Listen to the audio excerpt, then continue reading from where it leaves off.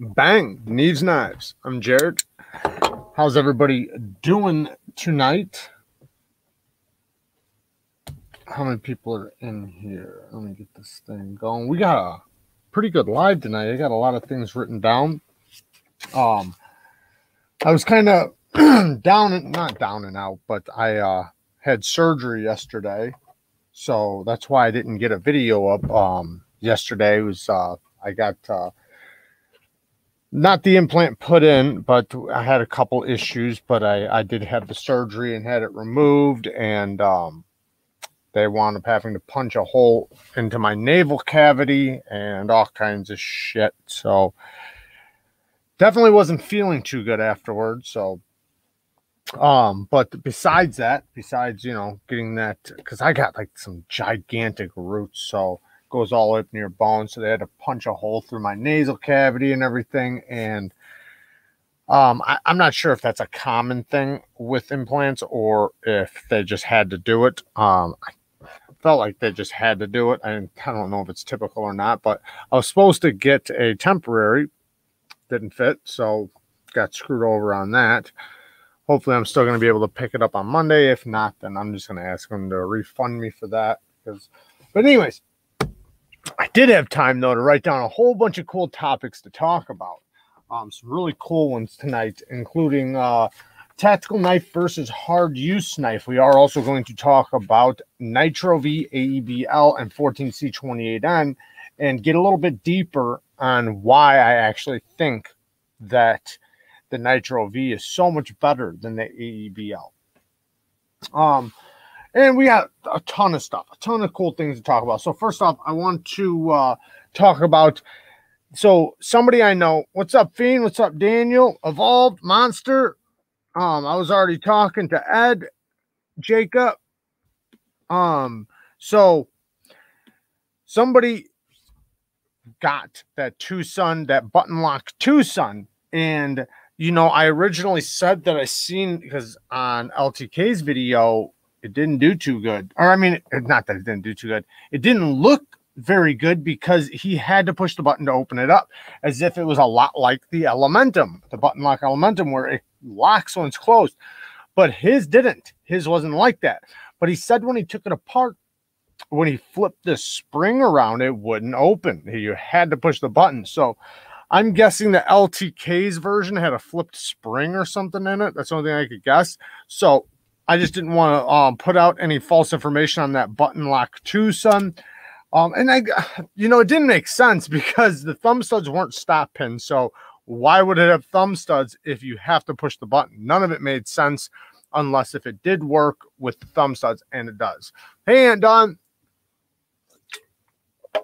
Um, so we have 37 people in here. Awesome, awesome. All right, so let's just get it started. So, um, first thing, you know, and I actually got this from Shabazz. You know, he was sorry, guys. He was talking about. Is he in here? He um, so Nick Shabazz, he uh, did a video and he was talking about how he doesn't like to know the the price of the knife because he wants to basically see when he does see the price of the knife whether or not it makes sense to you know like what he's thinking it should be worth. And it kind of makes sense you know and i was kind of thinking that like man that's not a bad idea to like to review a knife and go over it and estimate a value in your head of what you actually think it's worth. That way when you do find out if you're like oh you know because then that will definitely make you feel different about the the knife itself and excuse me, like if my words are messed up or anything, or if I slur anything or anything like that, because you know, like I'm all messed up over here. I'm trying though. Um, I got stitches and everything. So, but uh, help me find a Hinderer XM slicer, please. So there's some um Stasa 23 made a post. There's some available. Uh, what was it? Um, Knife Center, I think, just got some in stock. He just posted it like today. So there's um some slicer grinds. Um, I think they were the 3.5 inch slicers, and uh, they had a bunch of them available. I'm just man, I can't remember if it was Knife Center or what? Blade HQ. Sorry, it was Blade HQ. Thanks, Josh. So, Blade HQ. There you go, bud. Sold out. that was fast. That was fast. Sorry. Um, yeah, man, they go quick. They're really good knives. So that goes to the, let's just get right into this question then. We got uh, 43 people in here, at least on my end. That's what it says. Blade HQ dropped some the other day, but they were gone so fast. That's how it goes, man. Uh, uh I know what you mean. Uh, they just, when they come, they go really quick. But you can find them on the secondary market. So, um, follow Apostle P. He gets them a lot on his channel when he does his knife sales. Um, there is a link, it looks like, possibly. I'm not sure what it's to, but Fiend, I'm sure, is taking care of you right now. Thank you, Fiend. Um, DLT has a bunch. Bang. There you go. There you go. See? Asking in the comments, and you shall receive. So, talking about Hinderers, let's just get right to it. So, hard use knives and tactical knives. What is the difference between a tactical knife and a hard use knife? So remember, anything I ever talk about is solely my opinion, right? My opinion. So when I think about what the difference is, I think there's one major difference when I really think about the two that the one doesn't have to have, but the, the tactical one does. And that is keep eyes on the Hinderer website itself. Um, so to me, the one major difference is is a tactical knife should be able to penetrate. And I mean that because it's supposed to be, I think the way I read it, because I have actually reviewed a real tactical knife. And I'm sure most of you guys know this, but some of you guys might not. But a the, the godfather of tactical knives is Bob Terzuola. So right here we have some Bob Terzuola customs. I reviewed two Terzuola customs before, and I've excuse me, and I've checked out one custom fixed blade, but I didn't review it. So I think it's the ATCF is the original. Oops, sorry, is the original. You can see it up here in the corner, in the left hand corner. That's one of them. So I think they had a frame lock version and a liner lock version. The one I checked out was a liner lock version. It was originally in 440C because it was made a long time ago. Let me manually um, move this because it's going so fast. But if you look at this, um, when I read Bob Terzuola's exact uh, explanation of the tactical folder, because he is the one who invented it. Um, he was making knives for um, like these these guys that were like fighting in the jungle and things like that. Anyways, but they had to be a knife that was basically an all-terrain knife, a knife that could help you in the jungle, in urban environments, and also be a good fighting knife. So, a good fighting knife, a knife for survival, and when you think of survival, usually you think of out in the woods or jungle, hence uh, surviving with you know uh, traps and fire and you know things to catch animals and eating and things. You don't necessarily think hand to hand combat, but that was one of the the requirements from him of the tactical knife. So to me, when I think of, and there's Bob Terzuola right there, when I think of a hard use knife, I don't necessarily think of a hard use knife as a knife that has to be a hand to hand combat knife, right? I think of a chopper, something that can take a lot of abuse, a lot of stress, um, chopping, prying, scraping, but it doesn't necessarily have to have a piercing tip. Um, I seen this Spider Spyderco in here. I didn't even know Terzuola did anything with Spider Spyderco. But if you look at these, they all pretty much have the same kind of look um, for the tactical knife. And those are real tactical knives, right? The, the invention of the tactical knife right there in front of you.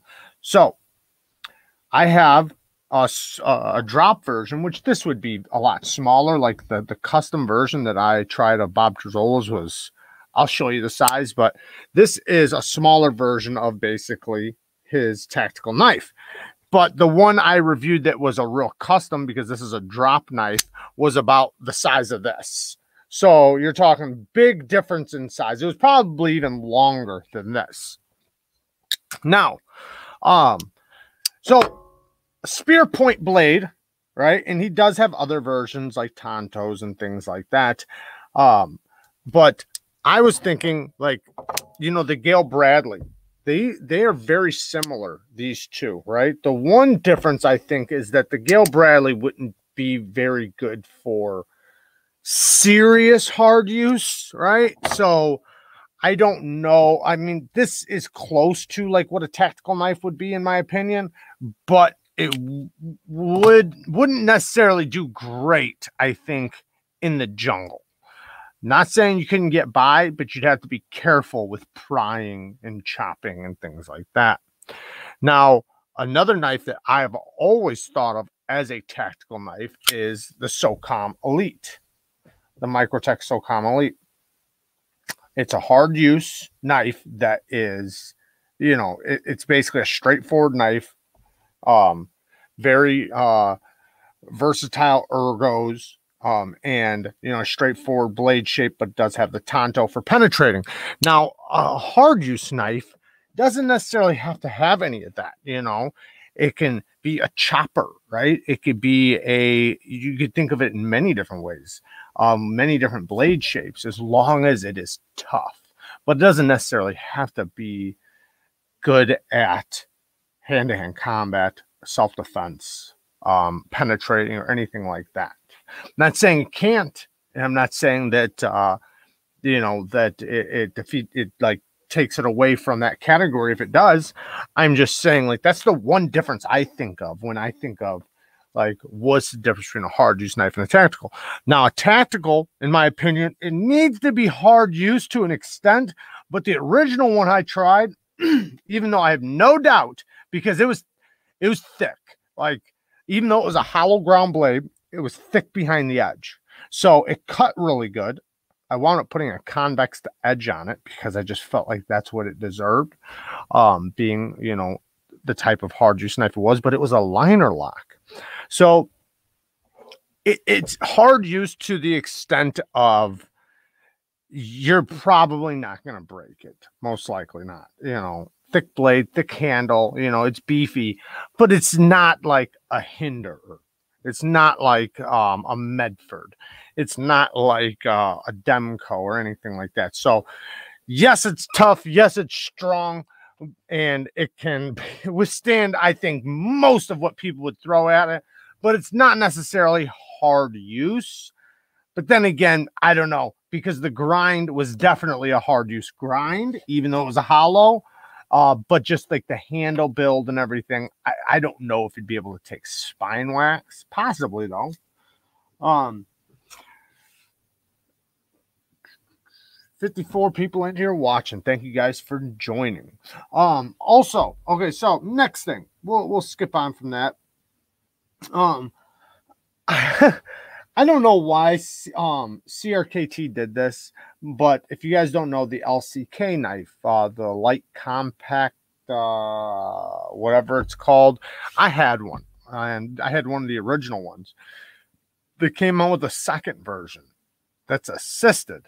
That's the dumbest thing to me. I understand there are people out there that do actually like assisted knives, and that's cool. Whatever. I used to be one of them.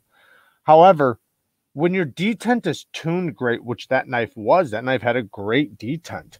So I don't see the benefit or why somebody would want an assisted knife if you already have good action. Like I can't imagine, say, taking this knife right here, the Kizer Justice, and wanting a spring on it when it's already such a good flipper what does it do for me? It's not like it's to flip faster. So I didn't get that. Yep, they made it an assisted and it probably sucks now. Yeah, right. Why? And I understand CRKT's assist is a little different. Like you can drop a CRKT assist like down to here, and that's when it stops. That's when the, the spring takes over because the spring works like from here to here and then you know just the smoothness takes over from there. So you can usually drop them down to about here and then pull them down. I still don't like it. Filthy casuals love assisted knives. So like hotcakes at big box stores. Yeah, but you know why I think that is though? I honestly think this is why. I think it's because they don't realize that, that they can get knives with great detents. I really think that they think. Do you know how like a back spring is on a knife, a knife with a you know back lock? How you think or how you have to two hand open it, right? I think they think that that's what it'll be like without the assist. I think those people don't realize that without the assist, it would be just the same. I think they think they need the assist to open that fast, at least. Q and Fiend says, I always saw assisted knives as a poor replacement for for TrueAutos. Yeah, I always not, I can't say always because I used to like them, but I wound up looking at them as basically um, a cheap way out, right? You don't have to tune a detent. You don't have to make sure like the the whole or the the ceramic ball or steel ball, whatever you're using as a detent, fits in the hole. So it lets you cut corners, which makes it easier for them. Some people would think that an assistant knife would be harder to make, but no, it's way easier. You know, detent to tune, they're all, you know, you don't have to make sure they're all the same. Ah, dang it. Knife Sergeant says the greatest CDC folding knife of all time is assisted Shadow Ranger. And everybody knows that. Everybody knows about the Shadow Ranger. I'm not going to start doing that. Don't do that. Don't do that to me, guys. Everybody just left. Um, maybe they have weak fingers and can't operate a flipper. I don't think that could be true though, because like the CRKT, that thing had a light detent. Um, it wasn't hard at all. Like the softest, I mean, you could have soft fingers and flip that thing easily. It was so easy to flip. We actually sent ours to uh, the guy in the community that passed away, Carbonite Gabamorian. Uh, rest in peace, brother. Assisted knives are an excuse because they forgot how to make a knife with good action. Yeah, let them cut corners for sure. Ken Onion made the assist to make a legal knife with the convenience. So, like in situations like that, like I kind of get it to an extent, like where they can't have an auto. This is the closest thing. But let's be real though. Why? Why do you need an auto when that fast? Right? That's that's kind of my point. Like I'm not like hardly even trying on this thing. You make the detent right, you don't need it lets you cut corners, right? But you're not going to beat me with an assisted knife opening, you know, one. Um, oh, sorry. Uh, I was trying to be funny. The truth is that CRKT made made it assisted because they're fucking morons. What is y'all opinion on the Twosun TS 138? Um, I had the 138. It was it was a good knife. It's a little blocky, um, but it's basically like a um overbuilt um razor blade, I guess you could say. It's uh I got a review on it if you want to see it. Ah, uh, shit. Why am I so messed up right now? Two, sun, one, thirty-eight. Um, but yeah, I do. Let's see, which, which order is mine? Love them nine. Oh, I got second. I got second on the YouTube algorithm for that video but we'll just check out a couple pictures really quick. So here it is. As you guys can see, they make a titanium version. I had the the half titanium or the titanium frame lock side with the carbon fiber on the other side. It's a good knife. You can remove the thumb stud too, the oversized thumb stud.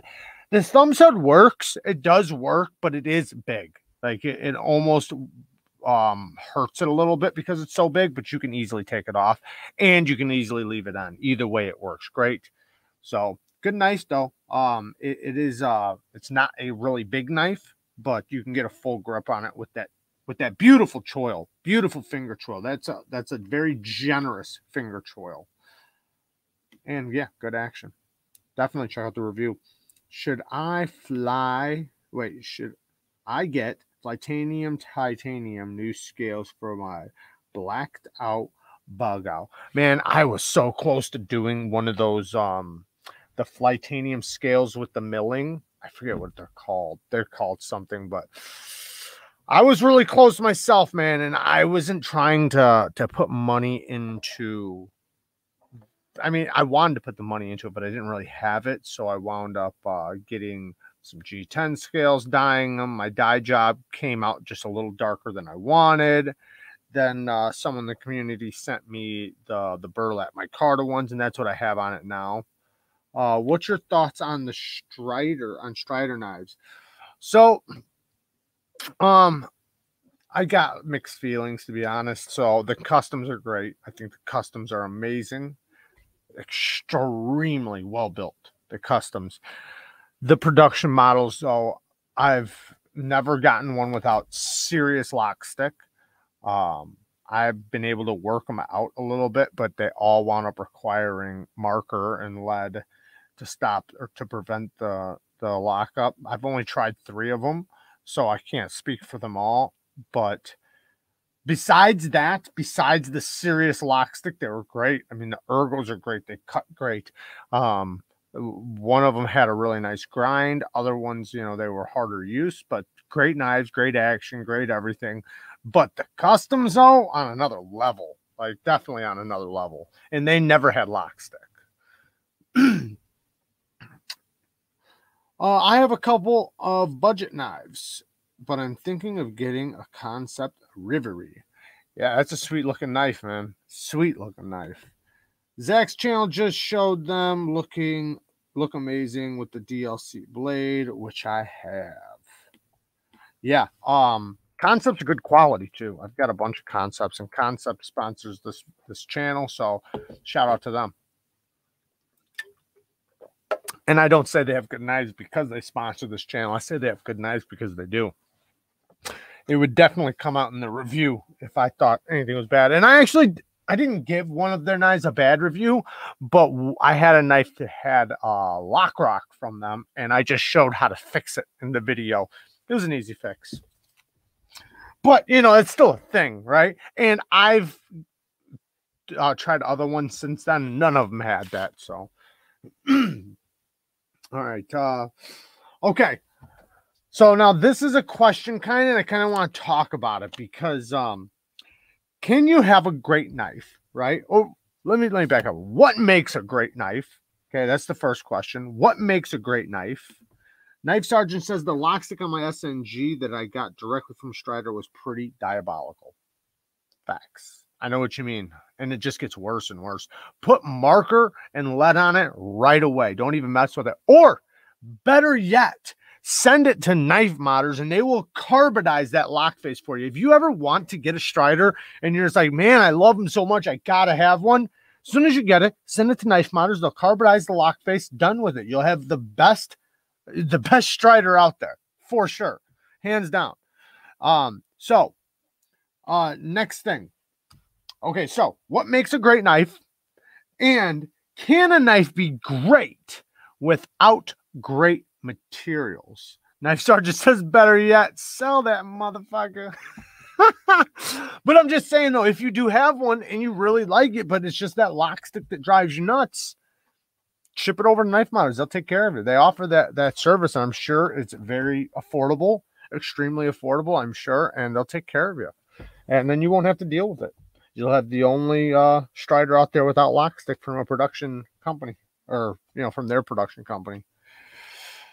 Uh, my preferred pivot lube is uh, KPL.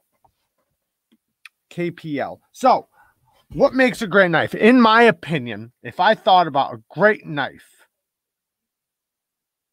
yeah, but you know, I'm just about to stop talking about this stuff because you guys just keep running with other stuff. That's the ones made by Medford, though. They they're top notch. They're not. They don't have that issue.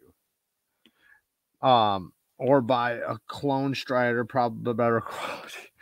Sure, a cheap one can be great. It depends on how much the maker cares, attention to detail, and precision.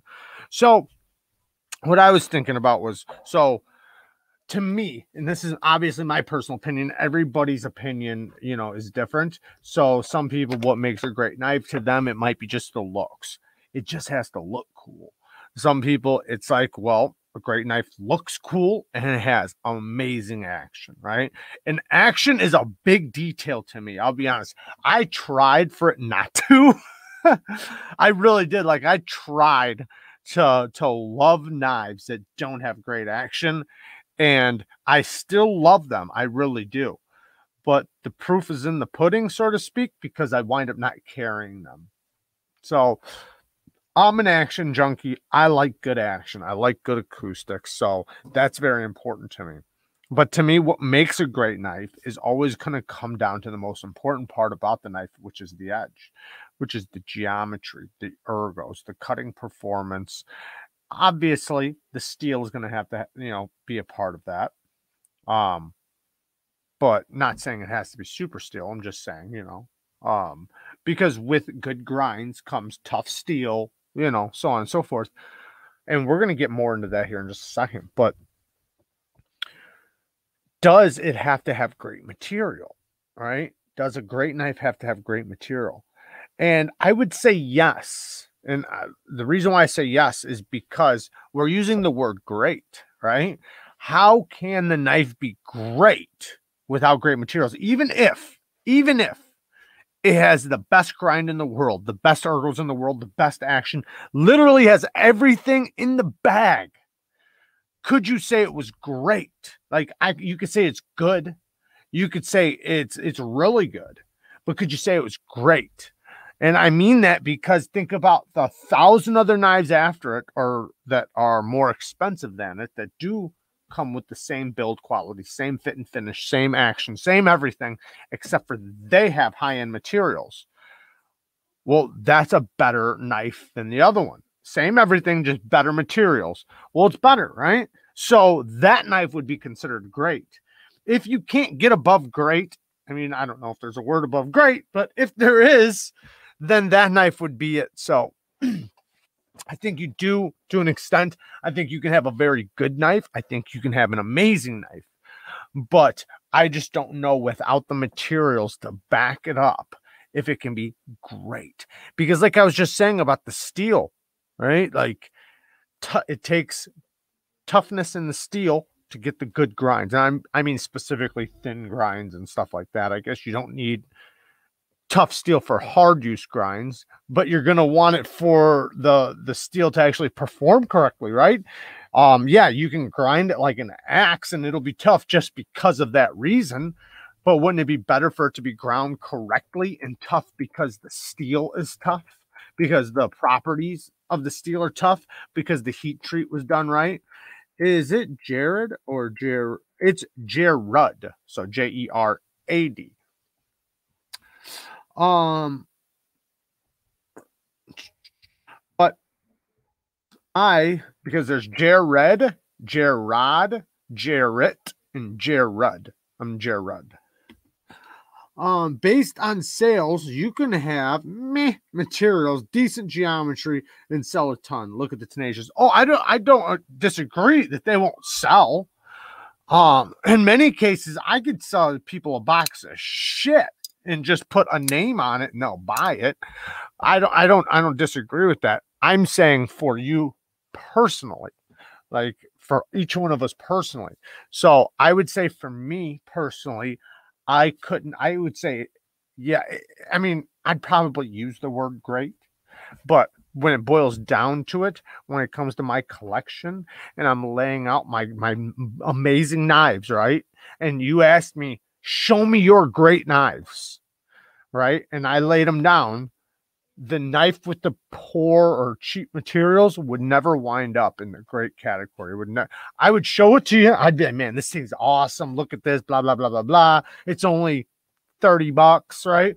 but it would never go into the category of the knives, say with the the better materials, you know, the better build quality because they're using better hardware, like you know. So I think it does. Uh, I think there's a fine line, and what makes a great tool to me personally, like I said, is going to be the action, the ergos, the grind, the, the cutting performance, the blade shape. Now, a lot of us, I think, do fall victim, and this this is going to be brought up later on, but maybe I'll just bring it up now. So, what's up, Lindy Lou? I was just talking about you guys. so, being drawn in to a knife because of the way it looks. So, I I'm the same way, right? Everybody is. You know what you're attracted to, you know what you like. However, there, there can be problems with that. And I've ran into them. I think everybody has, right? Where you see a knife and you say, man, that's my style. You know, it looks good, looks real good. Then you get it. And then you find out all the problems it has, the reason why it's not good. Oh, you know, you couldn't see this from the picture. So, just because it looks cool doesn't mean it's necessarily going to fit you. Now, I do agree though, like it's hard to love something that you your eyes not attracted to or that you're not attracted to. Um, so I hate anything that has to do with my mouth. Love Jerad's heart. At least he isn't drooling. Thank you. Thank you. Um oh, hello, Miss Lady. I'm Dale. I'm Brennan's stepbrother, and I think I might be able to help you with that pim pam dilemma. That's hilarious. Uh, but um, but yeah, I uh, I think though that if you do see a knife and you do think it looks amazing and it's right up your alley and you love the style, definitely watch a review on it from a reviewer that you trust. And if you can't find one, that might be a sign um, so be careful with those purchases. I think most people on this channel, they know, right? They know, like they can see the price, the the seller, the the all the little details. But some people don't. Some people just think they're getting a great buy. Like me personally, check this out. Earlier, I was watching um was it Canadian Cutting Edge? He had the Free Tiger something uh T uh 21, I think it was. And it actually looks badass to me. And I think Ganzo makes Free Tiger, if I'm correct. Am I correct about that? I might not be. Um, don't trust lefties. So, um, excuse my tooth, guys. I know it's not there. Um, but uh, what the hell was I about to say just now? Um, oh yeah, the free tiger. So it looks good. Well, uh, I've gotten Ganzos before, and they've been great right? I haven't had any issues with Ganzos for the most part. I'm not saying like they have the best heat treats. Their 440C was always done good, but their D2 was a little meh, right? Um, well, on his in his video, he did a video and he showed that he actually bent the tip on his. Now, their axis locks are good, their action's good. Like there's a lot of things great about the knife. The build quality is actually really good. Um, but he originally thought the heat treat was soft but then he was saying how no, it wasn't that it was it was hard. I don't think it was either one. Uh, so he he did write a, a, a, note in the thing saying that LTK did heat treat some uh, Free Tigers D2 and it came out to 62 or something, but to an extent that's irrelevant. And I'm, it's not irrelevant. Let me let me make that clear. It's not irrelevant. However, because it's hard doesn't mean it's going to be good and because it's semi soft doesn't mean it's going to be bad. Um it, it does boil down to how it was done and whether it was done good but you know besides the hrc so i think it was just bad to an extent. And it's a $30 knife a $30 knife with great fit and finish great action great lock mechanisms uh great everything. It looks pretty good. However is D2. D2 on a production level, when you're pumping out hundreds of knives, you're never going to be able to get the quality of a good heat treat on that steel. You just can't. So, even though I personally never had any issues with Ganzo's D2, they didn't do good in the cut tests ever. And their 440C did, but their D2 didn't. So, you see the, the problem with that, but it looked cool, right? It looked cool. Everything looked great. But, you know, Gan, yes, Ganzo makes Firebird, yes. Or I what am I saying? No, free. So which one makes the free tiger or whatever it's called? Is it uh Sanrenmu? I, I, one of them make it. I'm not sure if it's Sanrenmu or what's the other one. Um, I can't think of the name of it. Uh, not Sanrenmu, uh, the other one, the one that does fuck people over. Because Sanrenmu is actually really good. They've always, I've always seen them have really good quality. But the other one, what's the other one called that that lies about all their steel? Literally lies about all their steel. I think the only company that they are making their actual steel on, or what they say it is, is the Free Tigers. Eafengrow. Thank you, Logical. Yes, Eafengrow. So anybody who has an Eafengrow, they lie. They they don't they don't lie a little, they lie a lot. And I don't know if I've seen one yet that's told the truth, except for the free tigers. Those free tigers supposedly are on point. Well, because they're making them for a, a, a company or a company's buying them, whatever. Or maybe they're just using a different name because they want their reputation gone. Because even when they said they were going to stop that shit, they didn't. So um, maybe up to the last couple months they fixed it, but Eafengrow sucks. and I've fallen in, I've fallen victim to it. I've gotten them before and found out that I actually got one that was supposed to be D2. I got it for 20 bucks. D2, right? D2. Nope, 8CR. 8CR. And it also wasn't even labeled on the steel. Oh, wait, was it labeled? I don't remember. Anyways, the point is, though, it, was, it wasn't fucking D2. Um, I'm not against aluminum on OTF, but when it's still pushing a thousand dollars, not so much. Yes, Eafengrow, Lindy Lou spelled it right. Lindy Lou does everything right. Has anyone ever heard of Twosuns S90V being whack? So it's not that it's whack. It's it's so if you're looking at the value and the price, you're getting your money's worth, right? If you're looking at it compared to uh, another company for four hundred dollars that does S90V, no, it's not going to compete. It will lose that fight. However, you're still going to get all the other good things or good qualities from that steel, you know, whether it's uh, corrosion resistance, you know, all the other things. It's S90V. It's not fake. It's real S90V. They uh, they're not heat treating it as good as they could, but it's also not horrifying. Like it's not like they're just like it's just shit, right? It's not like that. But you got to think like you can get us like I got one for a hundred bucks, a hundred bucks with titanium uh, amazing fin finish, amazing build quality, amazing action. The grind was insanely good, and it was a hundred bucks. So, did I really care about the 10% of edge retention loss that I lost with it because it doesn't have um, a heat treat quite as good as the $500 knife or $400 knife that it would be compared to? No, I don't. Because if you switch that to S30V, I still would have paid the same price. I would have paid the same price if you put 14C28N on it. So why wouldn't I buy it with S90V with better edge retention than those two steels I just mentioned? So if, if I'm getting better edge retention than the two steels that I would have paid the same price for, I'm not bitching. All right. uh, being new to knife collecting, I started with Ganzo have been slowly working my way up the ladder and recently bought my first over $150 knife. Hey, welcome. welcome. Welcome down the rabbit hole, Big Daddy. Zach, thank you, man. Thank you. I appreciate the donation, man. You're awesome. Thank you. Um, yeah, guys. Uh, round of applause for the the new guy to the knife community because the rabbit hole is slippery, my friend. It is a slippery hole. oh, buddy.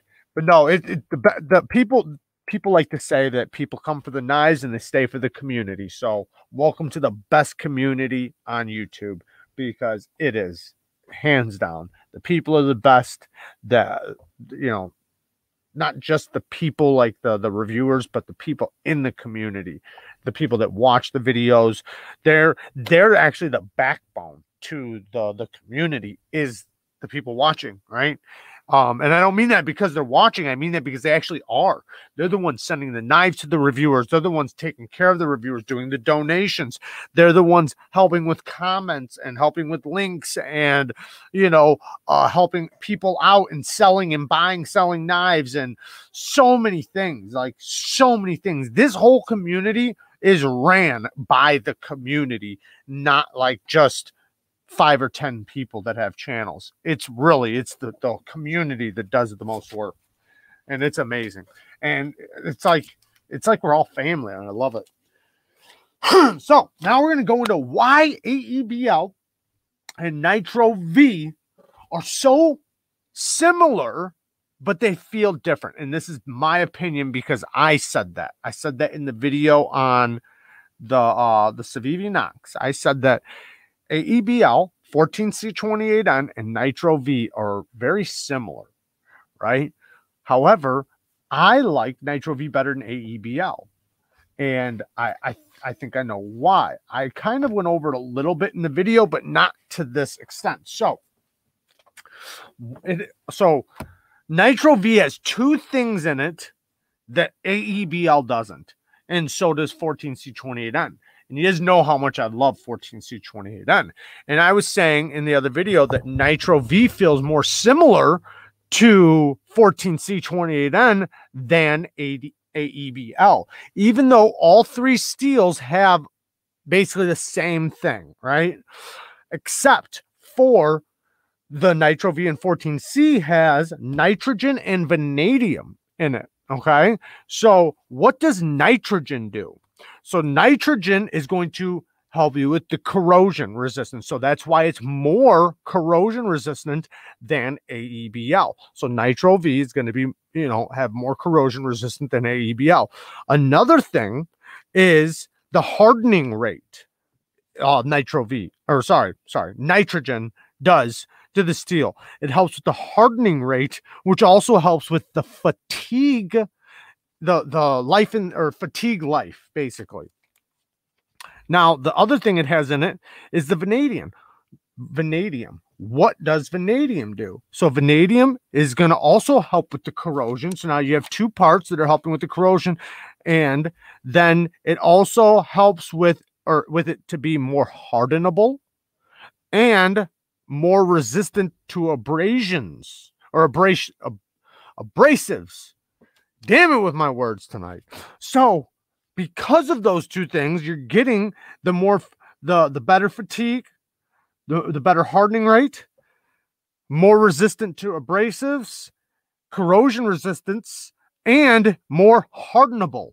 So, of course, that's going to bang increase the toughness, which is going to increase other things too. Like you you you could assume, right, which I do assume, that it's going to give you better edge retention. It's going to give you more more toughness. So then in return, that's why I think personally, and, and I'm not saying I think that because of that. I'm saying it be from experience.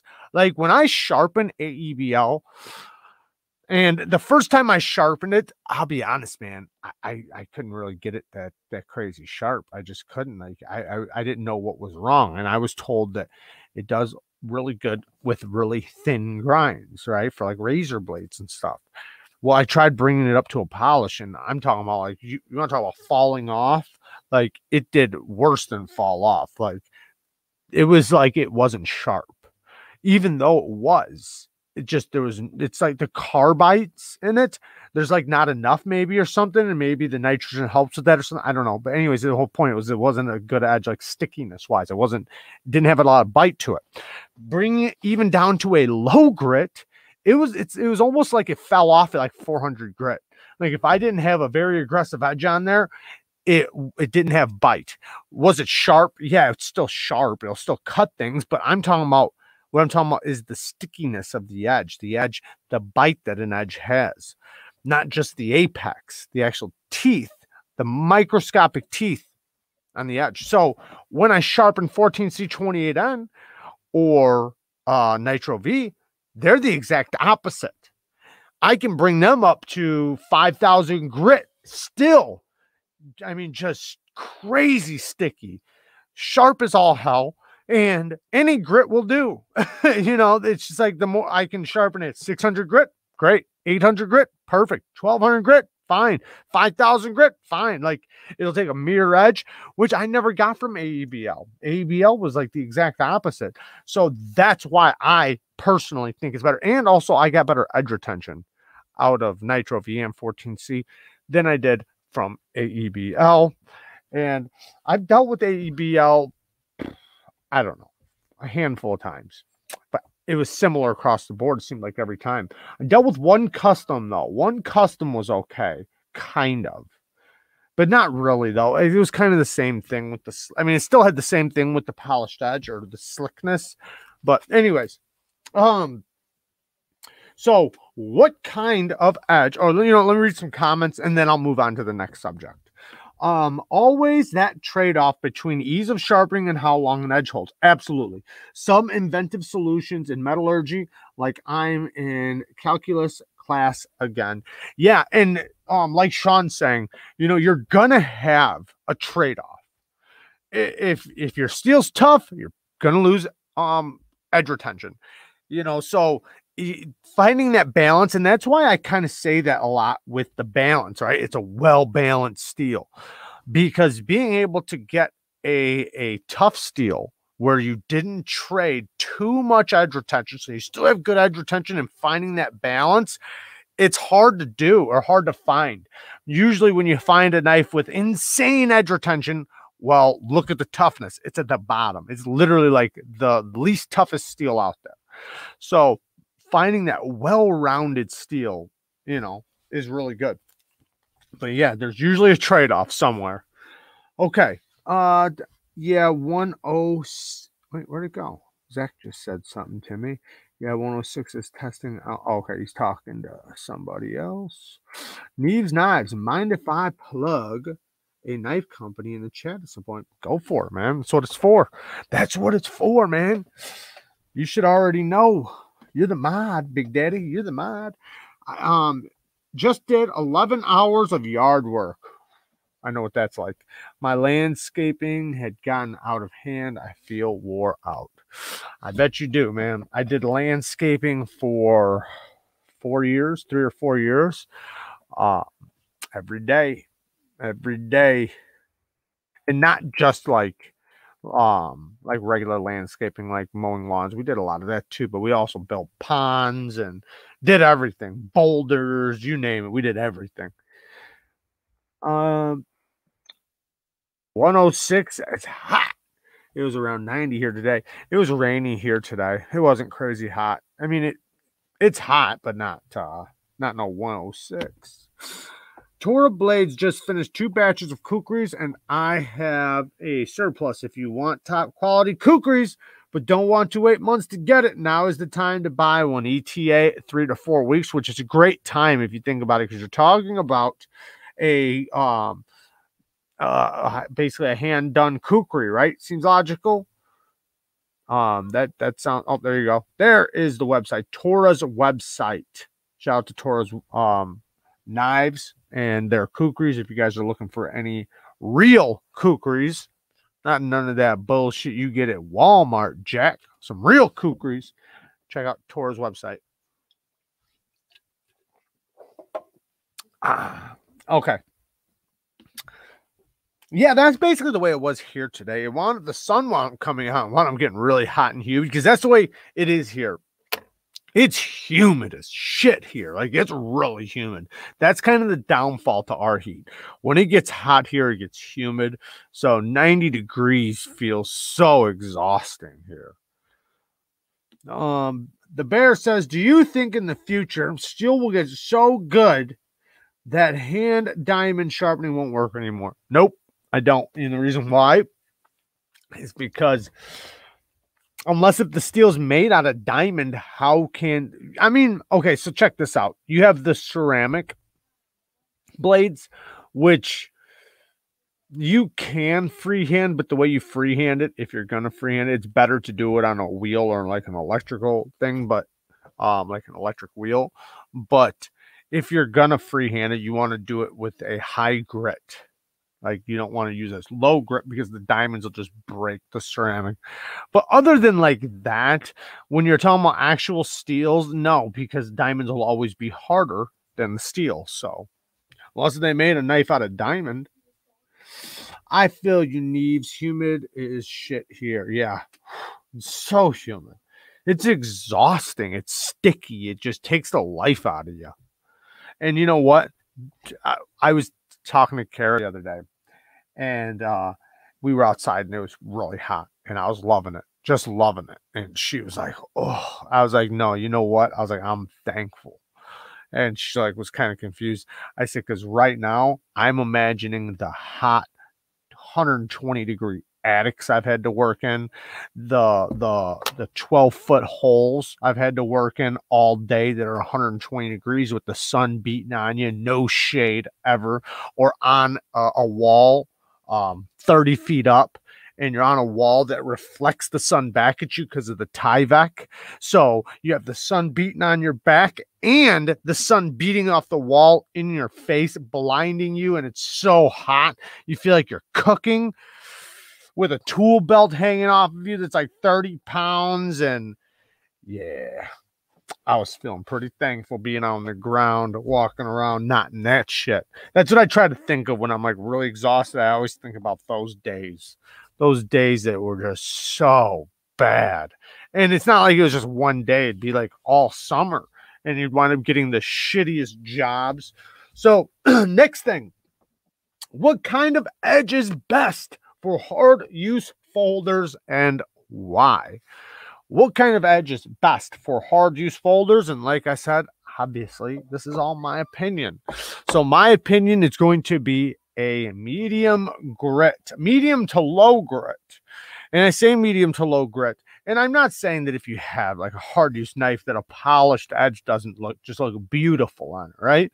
And in some cases, acceptable because Maybe the steel takes a good polish. Maybe you're not hard using the thing anyways, and you want the most beautiful edge you can put on it. However, in circumstances that you're using it or the best case scenario for that knife, it's going to be a medium to low grit. Because for a hard use knife, if you're actually using it as a hard use knife, chopping, um, it, it depends on the, the your version of hard use, but say a rope, right? A rope a polished edge, even under great circumstances, especially if it's thick, uh, depending on the angle you lay it back to and all that stuff, after you use it after a while, polished edge, it's going to get slick. It's not going to have no more bite to it. You know, if it doesn't chip. you don't want your bite coming from your chips from your edge, uh, but you want that that kind of like a saw blade. You know, when you think of a saw blade, think about taking the teeth off of a saw blade it's just a circled disc, no teeth. That's the way an edge is if it's polished too much or if you did polish it and you've used it a lot. Now the teeth are all knocked off.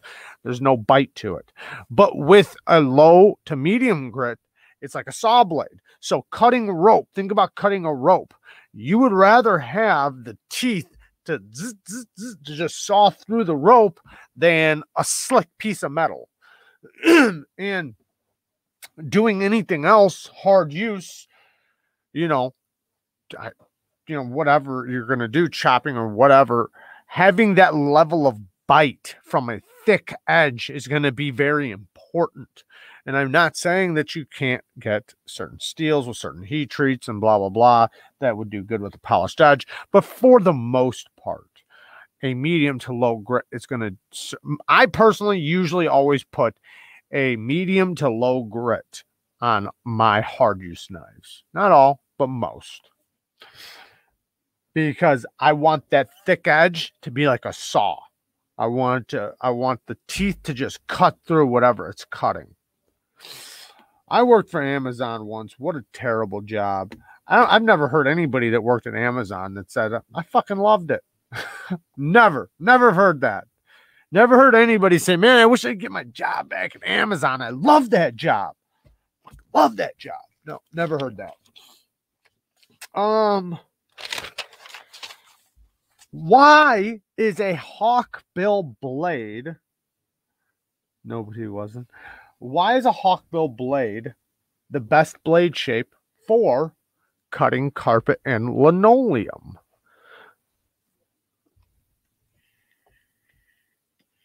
Daddy Jeff Bezos loves it. oh, that's hilarious. So, the reason why a hawkbill blade, and some people are going to say, don't you use a utility blade for cutting carpet and linoleum? No, you don't. You do if it's laying down. So, if you lay the, the linoleum down and you're cutting a shape, like say if you're you're at the corner, right? Or you have to go around something, in that case, yes. But most of your cuts are going to be when you're rolling it out and you're cutting the shape around the room or you know you guys can imagine you're rolling it out and you got to cut all the way down it but the fine detail work could possibly be done with a utility blade but the hawkbill blade the reason why is because when i'm dragging the blade across the carpet or linoleum the bill right the oh man, I got it sitting over there. The hawk bill is going to lift it and it's going to, because I'm pulling across, say, a 12 foot section or something. So it's flimsy, right? It's flimsy. So I want that blade to bite right into it and lift it up. And as it's lifting, the edge, the, the circled edge, it's going to trap the material and it's going to cut as I'm pulling across, and I'll be able to continue my cut until it ends without it just pulling out. If I did that with a razor blade, it would just pull out. Like it wouldn't catch it, it wouldn't hang on to it, it wouldn't snag it. it. I would have to literally make sure I'm lifting every section I'm cutting the whole time. The hawkbill actually lifts it while it's doing it. Another thing is that a lot of times the actual carpet blades they don't have tips. So even if there's concrete underneath, I don't care if the tip hits the concrete. I only care about the edge. The edge is the only thing really doing any work. There are some carpet blades that are going to have tips, you know, for doing little fine details, but usually you use your razor blade for that part and you use the hawk bill for the cutting out the dimensions and stuff.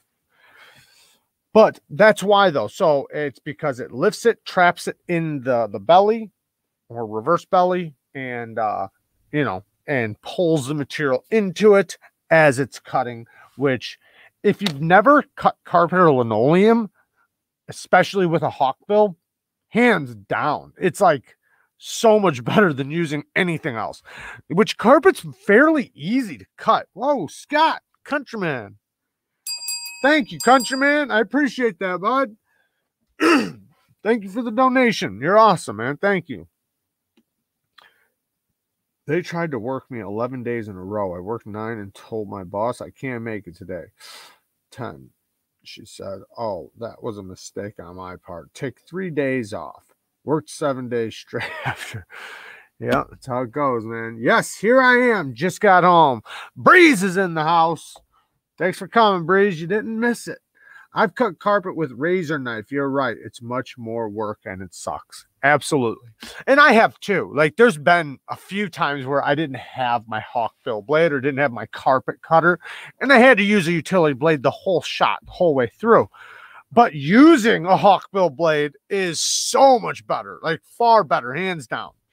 And I actually learned that from like because well cutting carpet we always used it but i didn't even put the two and two together when i you know doing linoleum until i did linoleum with like a real professional linoleum floor layer like that's all he did he didn't do anything else and i was a carpenter so i didn't i laid a linoleum but i that's not all i did this guy was a professional and he showed me that shit with the hawkbill with the linoleum.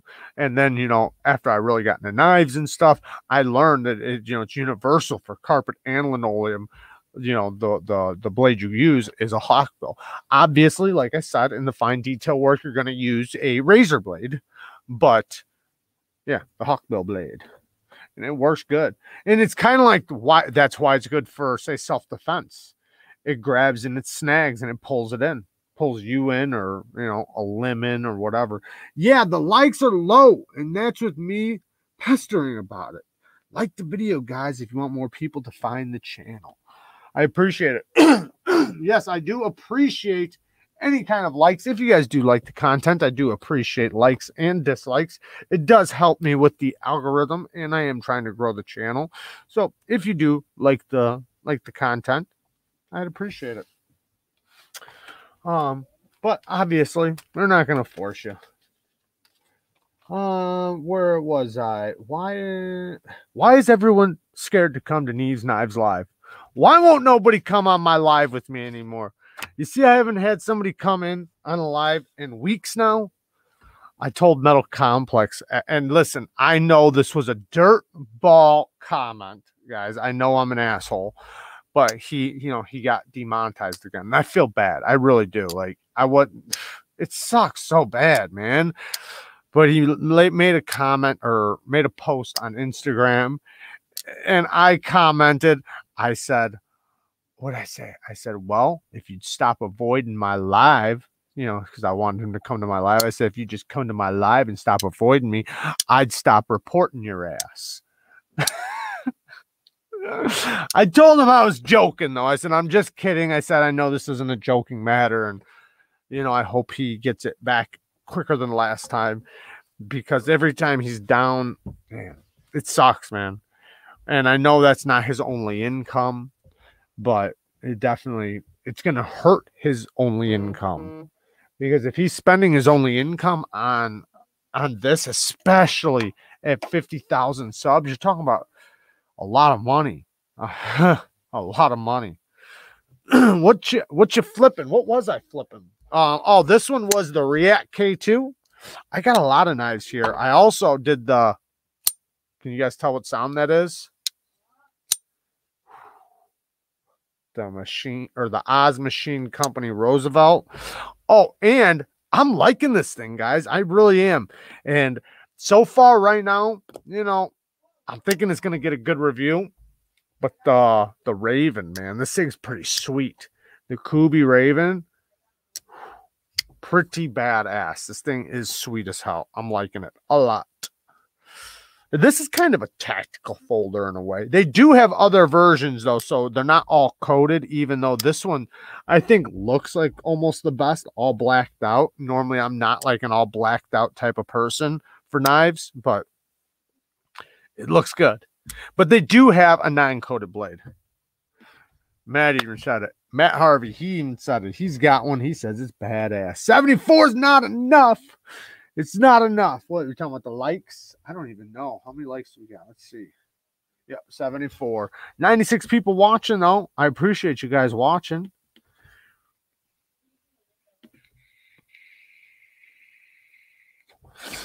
In a way, I'm surprised you didn't get tagged for the same reason as you, Jerad. I mean, you open every video with a bang, and yet you don't get the firearm strike.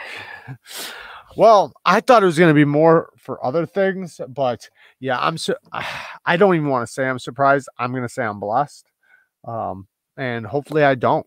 I'm hoping that it's literally a bot making a mistake, and that's why it happened again. That's literally the, the same bot algorithm mistake that picked it up, whatever it picked up the last time, picked it up again. His channel is obviously way bigger, so it's coming across their algorithm probably more. Um, however, there are channels far bigger than MCs that are just fine and have not been touched. So you got to think what is going on. Like, why are these channels safe and he's not? I don't know.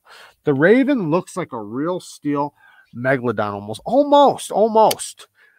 But man, it's really good. Like, okay, so Kubey has, you know, just in all honesty, so Kubey, the first Kubey I ever got was the Kubey Eris.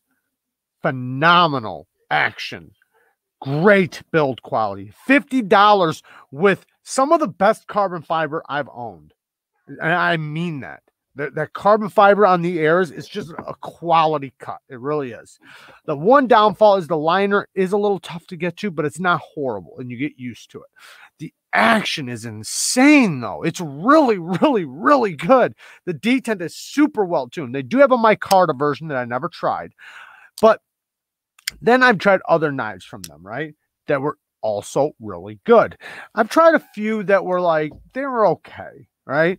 Um, but I've tried some that are really good quality. So, like, I've had really good experience and okay experience. I've never had any bad. This one is one of the really good ones so far. Like I've had really good experience with it. I do like it a lot. Um, the clip is not the best, but it's also not. I'm not like scared to carry it. You know, like I still carry it. So, and at this point, I won't fucking carry it if the clip is bad. But somebody said I was going to hate the clip. So I'm possibly thinking that maybe this one's a little bit better than theirs with tension. And uh, if it did have a lot of tension, I would just, you know, bend it a little bit, but it's not bad. It's not the best, but it's not bad. Um, but so many other things are really good on it. And the action's really good. Really good detent. It feels solid. Um, it does have T8s all the way around, except for the clip. But yeah, great knife, man. Breeze Ratchford sucks, Monster says. Supposed to rain until Friday. Gonna be a crappy week for car cruising. I like that bug on your thumbnail. um, yeah, it's gonna be a crappy week here. Um, the Eris is a great knife, absolutely. I had Kubey's loved, uh, I loved, but I had a rough review of the Vagrant coming soon. I tried to like it, I couldn't do it action is good, everything else bad. Really? Um, I like the Vagrant. I thought it was really good. I don't know what's wrong with your or what you don't like. You said the action's good. I can't imagine what else is bad on it. Uh, every ours, everything was really good, and they didn't send it to us or anything like that. So it was just randomly bought. And, yeah, I, I, thought it was really good. Um, I don't know why. I mean, everybody likes different stuff, but you're sounding like something wrong. Okay, what was the next thing? Oh yeah, why is everyone scared to come on Neeves Knives Live? Um, why? Uh, oh, so this is just a really quick one, and I know a lot of people in here can probably relate. Barry want Barry White wants to see his knife. What's up with Lefty shitting on the Kizer land? Such a I thought he said he liked it. What do you mean he liked it? Shit, that thing got the best review of any one of his knives besides like a $900 knife. The only knife so far that I've seen that got a better review than the Kizer land from Lefty EDC was a $900 knife or uh, at least a four or five hundred dollar knife. So I think it did pretty good considering it's a 50 60 dollar knife, 60 something dollar knife. So the way I look, um, I made a comment on this video. I hope he's here so I can fuck with him. Um, I made a comment in his video because he was saying something like, uh, he asked, uh, dude if he could check it out. He said in the picture it looked good and he wanted to check it out, and he said he just don't like it. I said, I said, I said, just be honest, man. You asked him so you could check it out just so you could shit all over it. you don't fucking check out knives because you want to like it. You check out knives that shit on them. Um, the land is sweet. It is sweet. And sometimes you do have to put it into perspective. Like it's a 60 some dollar knife, right? like don't, um, don't like, uh, pretend like you spent $300 on something, right? I could completely understand on some with some knives that you spend 200 $300 on you're like man this thing doesn't feel like it's worth it. But with the land i feel like i spent m- more or at least that amount of money or not, if not more. And i think that's what you can ask for. The one thing you can ask for is to at least feel like you got what you paid for right? If you you know because that's what it boils down to. Did you get what you paid for? And i don't mean like did you get the knife? I mean is the knife worth that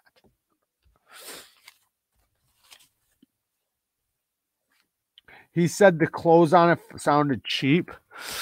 Well, he's going to say that about something. something. You know, right? It's like I can't imagine a review getting back to back good comments.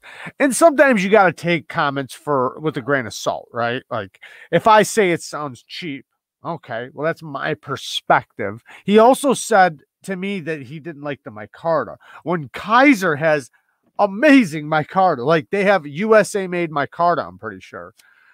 So, like, it's just perspective at that point and preference. So, you know, like he even said he thought the horns micarta looks like shit. Like, you know, like the bacon micarta. This isn't the bacon micarta, but it's the same. It's almost the same quality, but man, this is such good micarta. Like, this is pr- close to the best micarta I have in my collection right now, and I have a lot of micarta, so that says a lot.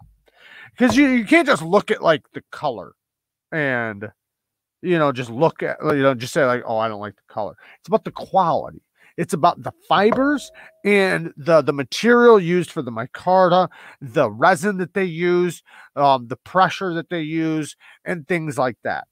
You know the the resin and the way it comes out after sanding and finishing and everything like this doesn't feel like it has any resin in it.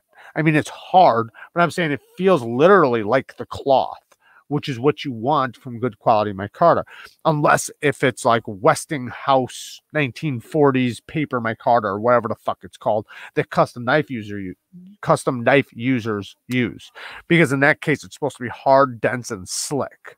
So yes, yeah, certain micarta is supposed to be hard, dense, and slick. It almost feels like like polished G10 or something.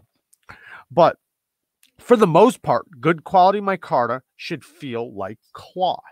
It should literally feel like you're holding um like wood wrapped in a shirt or something, you know, like or in jeans or something, you know. And that's what this feels like. It literally feels it has a beautiful texture to it. It's nice and soft, it's warm, the exact things you want from good quality micarta and you know it's not like it's like say that that dense stuff that has splotches all over it because of the resin is like cured better in this spot and then this spot some of the texture from the fabric is coming through but in other spots it's not that's when you're getting crappy micarta and in Kizer's case uh, for 2021 their micarta is top notch. It's just as good as CJRB's or uh, what's the other companies that are doing it really good? CJRB is killing it with their micarta. QSP is doing a good job with their micarta. Um, my car, duh. Micarta. It's Micarta. My Carta. Okay. Uh so I'm just going to talk about this really quick. So Benchmades. People talk about Benchmades being overpriced. Who agrees in here that Benchmades are overpriced? Are you paying the butterfly tax? Do you guys feel like if you bought a Benchmade right now, you're paying a butterfly tax? Or do you feel that you're getting what you pay for? Well, you're getting what you pay for, but you know what I mean. Do you feel like you're getting the quality that you're supposed to Okay. So Knife Sergeant says, yes, I feel like I'm getting a butterfly tax. I agree. I think uh, Benchmade at this point. So I listen. I give a lot of credit to Benchmade. They have a USA made company. They use USA parts. I, I agree. Like I, I I want nothing but USA to kill it. Right. I want nothing but the companies to succeed in the US. But I do f- feel that they are overtaxing or overcharging for the materials for the money. Like somebody said, like by like 25%. Now, I I don't mind paying extra for USA because I get why. Right? I don't need to go through why. Everybody knows why things cost more in the US, right? Everybody understands that you know, but because of the cost of labor, the cost of running a business here, so much more money, you know, insurance, uh, retirements, you know, all the bullshit. But at a certain point, you see other companies doing it that aren't as big as Benchmade. So you can imagine they're not getting the prices Benchmade is, right? Like, say, and what I mean is, say, a smaller company, they're not going to buy 10,000 screws. They're going to buy 300 screws because they can't afford to buy 10,000. Benchmade can. Benchmade can buy big bulk for little price. And you know they do. So you would expect them to be at least around the same price range as some of these smaller companies, and and you understand a little bit of a tax because they're saying we have a real, we have a lifetime warranty, right? We have a lifetime warranty, which does cost something. Lifetime sharpening that nobody uses, which does cost something. but, at a certain point, the price is a little much. You know, bring it down a little bit. And Spyderco, it's kind of the same way, but Spyderco, you at least have reasonable stuff. Like, is there a Benchmade that's under $80, under $90? There's Spydercos that are, but also they're made in China. So let me take that back. Um, because they don't have any in the US that are that much. At least I don't think. Maybe the Para 3. Wasn't that 90 bucks at one time? Anyways, my point is getting to this. The anthem, the Benchmade anthem. A lot of people say that it was too overpriced. And this is the one time I'm going to disagree now. Now, I think I used to say the same thing, to be honest. And I used to say some things about this knife that I'm taking back right now. Whatever I said at that time, I'm taking it back. So don't hold my past against me from previous videos that I made because I'm going to say this knife is well priced. Listen to my argument. If I bought a Reate right now, a Reate that is an integral, how much would it cost? How much would an integral knife from China cost? All right, Richie B, you're fucking out of here. Get out of here, Richie. Just joking. okay. Uh, Richie B says the anthem sucks, but hear me out. You ain't got to like the anthem. You can hate the anthem all day. $450, Sean says. I agree. That's exactly what it would cost. It would cost $450 between $400 and $450 for an integral from China made by Reate or we or something, right? This is an integral.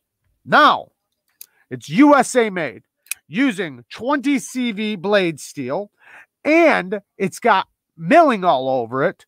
Now, the biggest part, it's got a one of a kind locking mechanism that is incredibly strong. Incre- one of a kind. I know it's an AXIS lock, but the spring system is a one of a kind. Literally, everybody that ever bitched about Omega springs, it takes everything away from everything they've ever bitched about because it doesn't have Omega springs. So you literally have a lock that's not gonna, you're not gonna have to worry about, and it's incredibly strong. You're talking about like what this, I don't know, maybe the third strongest locking mechanism on a folder that exists. It's one of the top five at least, right? Like We can we can agree with that, right? That it's one of the top five strongest locks on a folding knife for sale or possible trade. It's not mine. I'm sorry, bud, but uh, I can get I can get you in contact with uh, Floydian because that's who it is. Um, but when you put all those things together, four hundred and $400? Is that really overpriced? USA made integral unique lock that is so good. I mean, this thing is such a good. The action's insane. It's the smoothest. If you call bearings smooth, right? Because some people would say bearings aren't smooth. That's for phosphor bronze. But I'm just saying, if you're calling this smooth, look at this. It's literally like a pendulum. That's how smooth it is stupid smooth, yet locks up super solid. I mean, it's solid. And it's, yeah, just everything about it. It's hard to argue that that's not worth $400 when you can turn around and say a frame lock from Reate with an integral would be 450 Right? I mean, come on. I'm from West. Wait, where do you go? I'm from West Australia. Love this chat all day long for me. Thanks, mister. Thanks, Mr. 2%. I appreciate that. Love Tangram. I like Tangrams too. Tangram does a good job and they're stepping it up this year because some of the models I got their Tangrams were like, I didn't think, because I always thought Tangram was Kizer's budget line But this year, it's not. I could cut radiator hose all day with that. you could. You probably could. Um, only the clip sucks. Not on this one. Aftermarket deep carry titanium fold over clip, baby. baby. That matches with the titanium.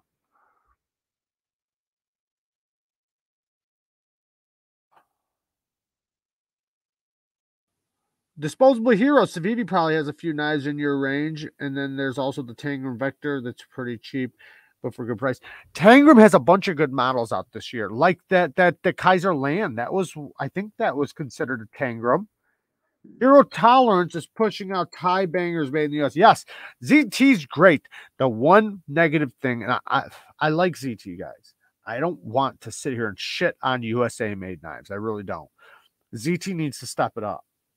They shit all over 2021. So just erase 2021 off the map for ZT. Okay, just take it off the map. It doesn't exist, right? When they look at their calendar at, at work, 2021 is just gone. 2022, they better bring their fucking big guns. They really better because their heat treats are shit, right? They used to be really bad. They stepped it up. They did get better. I'll be honest, they did get better. But they're not the best. They don't have great heat treats. They, they're they're making soft steel which they shouldn't be, right? It's ZT. They should be. What what was it? They're tough as a tank or whatever. They built like a tank, built like a tank with soft steel.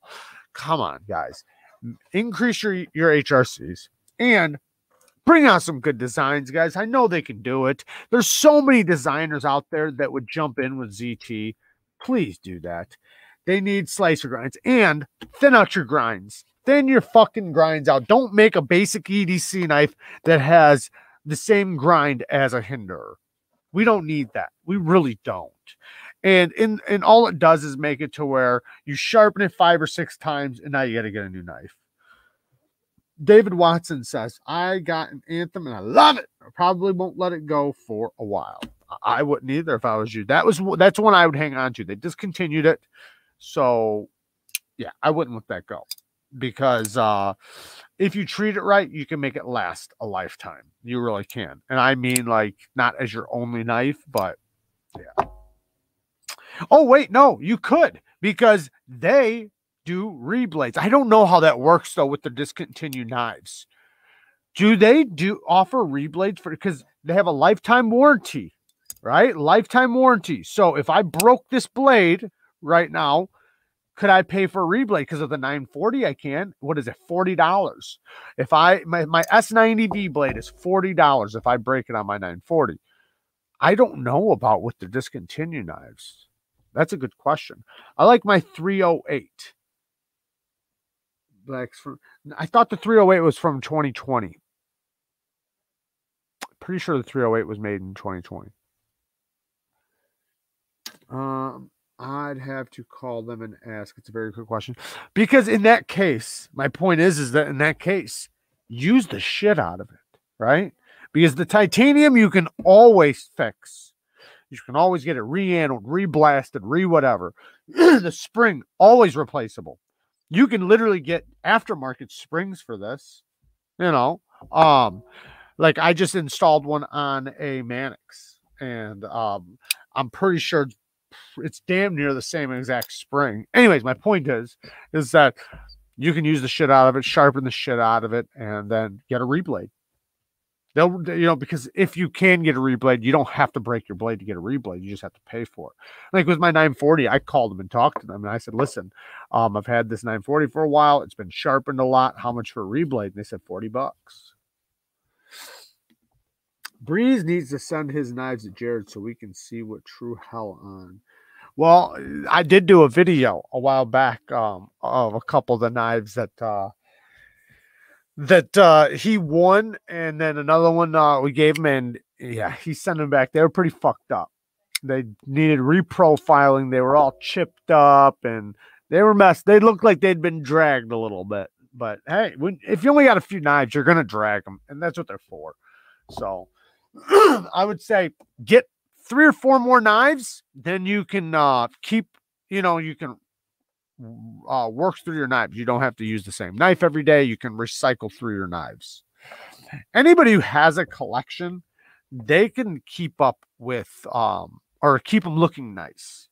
Um, you don't have to beat on your knives if you're switching your knife out every day. And I'm not saying you're not going to have a beater knife that you would do anything with. Obviously, you would, but that would be a specific knife out of your collection that you don't care about throwing against a concrete wall or dragging, you know, through dirt and rocks and everything.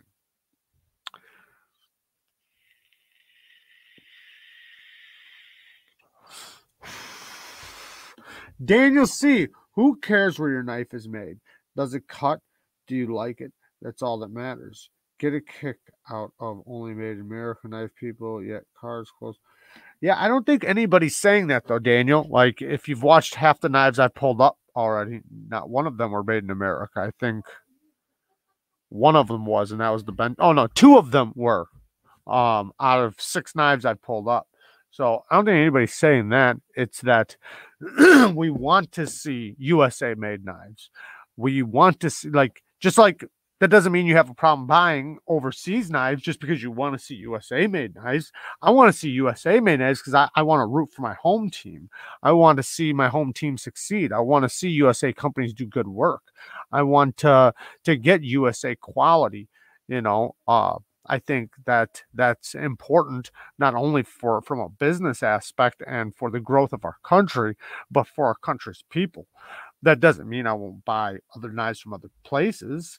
Um, but you know, and you know, I just I, I'd like to see them succeed. But obviously, if I'm sitting here talking shit and I'm, you know, that doesn't mean like I wouldn't buy, you know, an overseas knife over one of them, you know, if I thought it was the right deal. But it doesn't mean I also wouldn't pay a little bit more for a USA made knife if I liked it and if it spoke to me. So it just kind of depends. Uh, my beater used to be my Praxis. I miss that knife. Praxis is a good knife. Civivi Praxis, great knife. Um, seems logical. Yes, mate. Sunny Perth, but not today. Where you at, bruh? Where you at, bruh? All right, let's get to the next topic. why? I think I already kind of talked about this, but why going up in grit? Doesn't make a knife sharper. And when it does, when does a knife stop getting sharp with sharpening? And what I mean is like if I'm on my stones and I'm sharpening, going through my stones, at what grit does a knife stop getting sharp? That is around 1200 grit. At around 1200 grit, that is going to be where basically a 1200 grit edge and say um, a 2000 grit edge. The 2000 grit edge might be a little finer, but it's not going to be sharper, right? A 5000 grit edge, it'll look pretty, it'll look beautiful, but it's not going to cut better. It's not going to be sharper than a 1200 grit edge. Now, like I said, you can get a finer edge, and there there's going to be some steels out there that seem like they do get a little bit sharper. Now, and I'm specifically saying if you did the same angle, same angle, same knife, two knives, same exact, right? About 1200 grit is the cutoff point for sharper. At that point, after 1200 grit, you're only making it, you're only refining it. You're only making it finer. You're not making it any sharper. So you're basically just polishing it. And in a lot of cases, it gets less sharp many cases it, get, it gets less sharp. Now, between 600 and 1200 grit, a lot of times it doesn't get sharper either. 600 grit and 1200 grit, like one is more aggressive and one is a little finer. But for the most part, one's not sharper than the other. One just has a little bit bigger teeth, so a little bit more bite. Now, that depending on how you look at an edge or what you perceive as sharp you know, um, a 1200 grit might be perceived to be sharper because it might cut through paper cleaner, right? Actually, cutting things, though, it's not for the most part. Um, now, the reason why is because, like I was saying earlier, you have to think about it as like teeth on a saw blade. you know, the the more you polish it, the more teeth you're taking off of that saw blade. Now, certain steels with certain HRCs, certain heat treats are going to be able to keep teeth and keep a bite even with a polish. But basically, when you're polishing it, you're taking off the teeth. So, you know, at a certain point, it's just going to go down. Now, there are, like I said, some steels that do really good up to 5,000 grit and they stay wicked sharp, wicked sharp because of the steel, the heat treat, etc. Um, however, they're really not sharper than the 1200 grit. They're just finer. So it's kind of like this. Put this way, it's kind of like thinking about this. A wire, like say a very thin wire, right, versus say a um uh a saw blade or you know, or if you look at it like um because you, the teeth are so much smaller, so it's kind of hard to put into perspective like that. But at some point, like when you're getting it really fine and your edge is really laid back, and it's you know the bevels are really big and the edge is really big, and uh, you polish it all to hell, and it's mirror polished. The edge has little tiny microscopic teeth. So if the steel and heat treat's done right, but in reality, it's not any sharper than the 1200 grit like I said, in some cases, it might feel a little bit sharper to your touch. Um, and also depending on your skin too, because some people's skin is different. Like if you have callous skin versus very, very ladylike skin, very sensitive skin, like you fucks, you know, it might feel sharper. I'm messing with you guys. Anyways, um, but yeah, I hear a lot of people um, say that, and I can't help but think of how sometimes it's a dumb statement when I hear. Uh, it doesn't matter. I don't want to shit on anybody.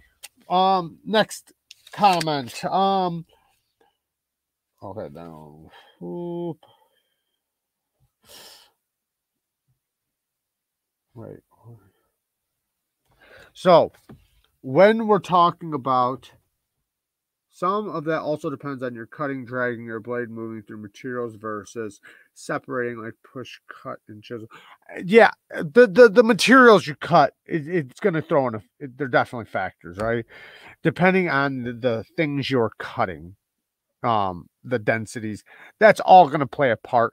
I'm specifically talking about right now, like just like actual sharpness because yes some things are going to be cut better with a serrated blade. Some things are going to cut better with a v grind.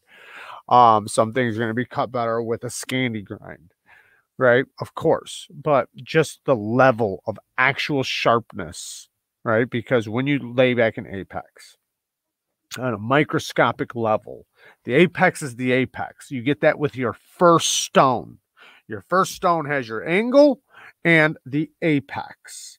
And after that, it's all teeth, right? So through each progression, you're knocking down the teeth that are that's right here on the apex.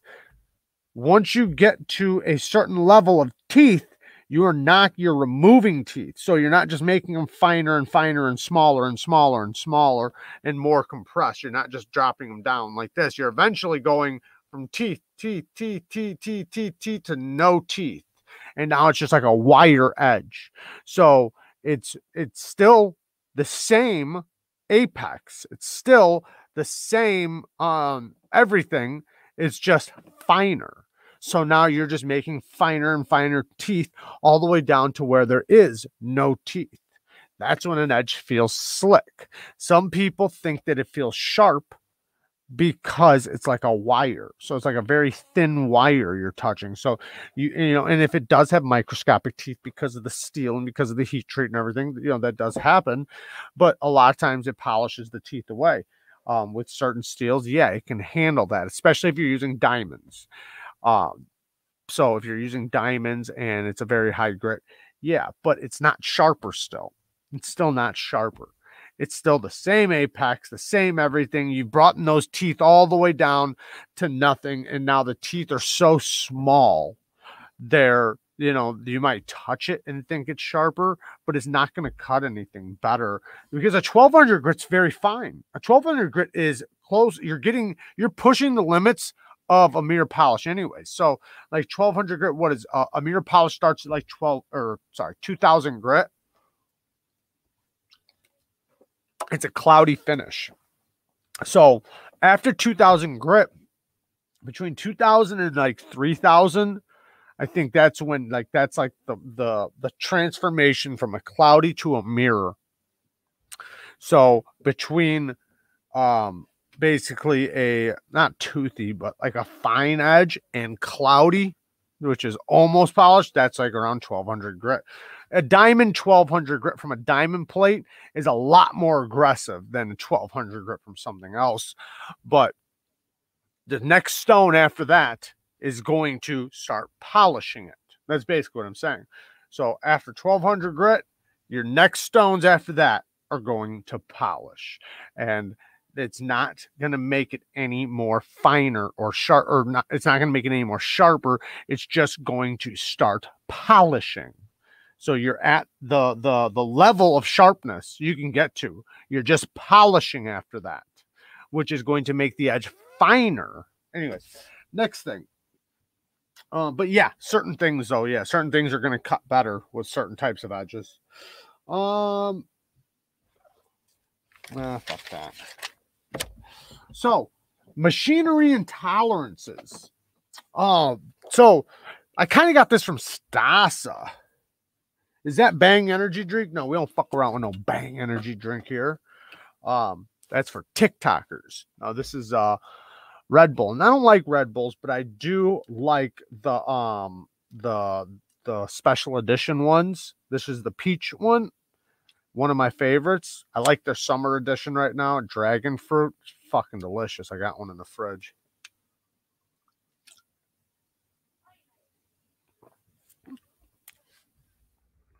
That's awesome, 2%.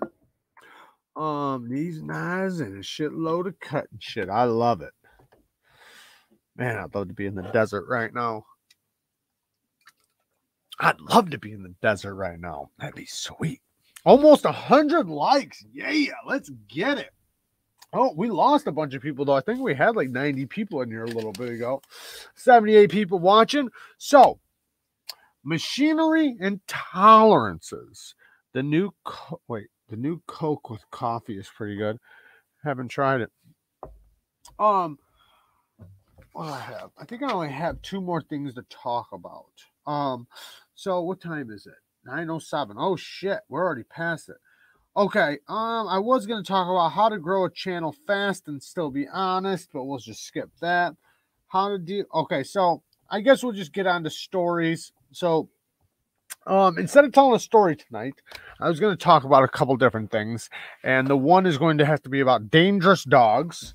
So, it is how to deal with dangerous dogs. Excuse me, sorry. And how to be an alpha to any dog. So, and then the next thing was about the new channel I'm going to be starting that has nothing to do with knives. Now, I was just going to talk about it just a little bit. I'll probably be starting it after the ninth, after I get my implant in. I'm back, Headley. For you missed it all, Lindy. You missed it all.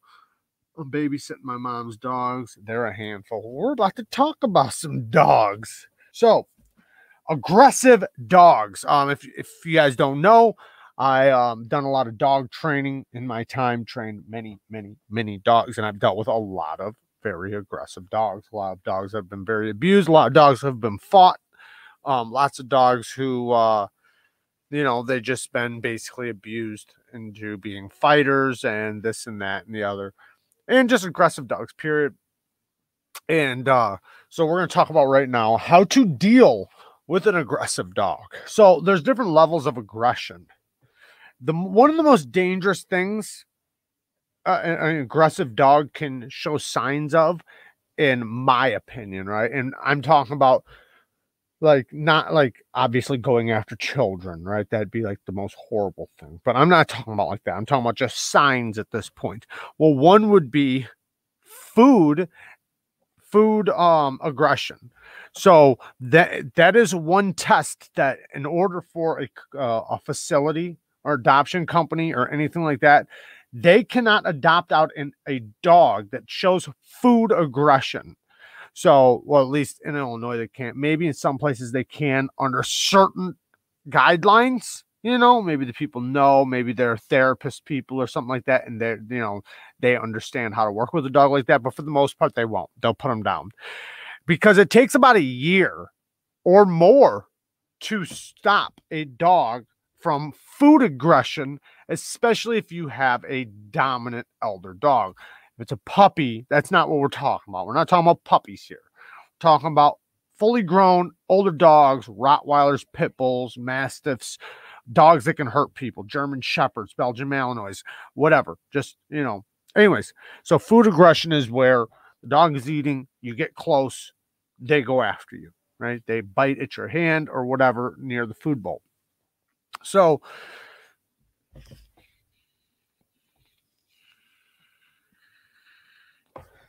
with food aggression, it's really aggressive because you know that's their food bowl. And if a child goes up like children do and play with the dog food, that dog is likely to hurt them. And that's why it's dangerous. Right. So getting the dog to do that like to like say to keep messing with it and making it more and more aggressive will only make it worse that's not how you deal with a situation like that. You will only make it worse. They, when they test a dog, like at a, an adoption place or whatever, they use a fake hand. They don't never go and touch the dog's food bowl with their hand to find out if they're food aggressive because a dog will show signs of being very loving. They will literally be a very loving dog and then you go to feed them, and the second you go to touch their food bowl, they fucking go after the hand and they go after it violently. It's usually pretty bad. And the reason why is because, like in the wild, right?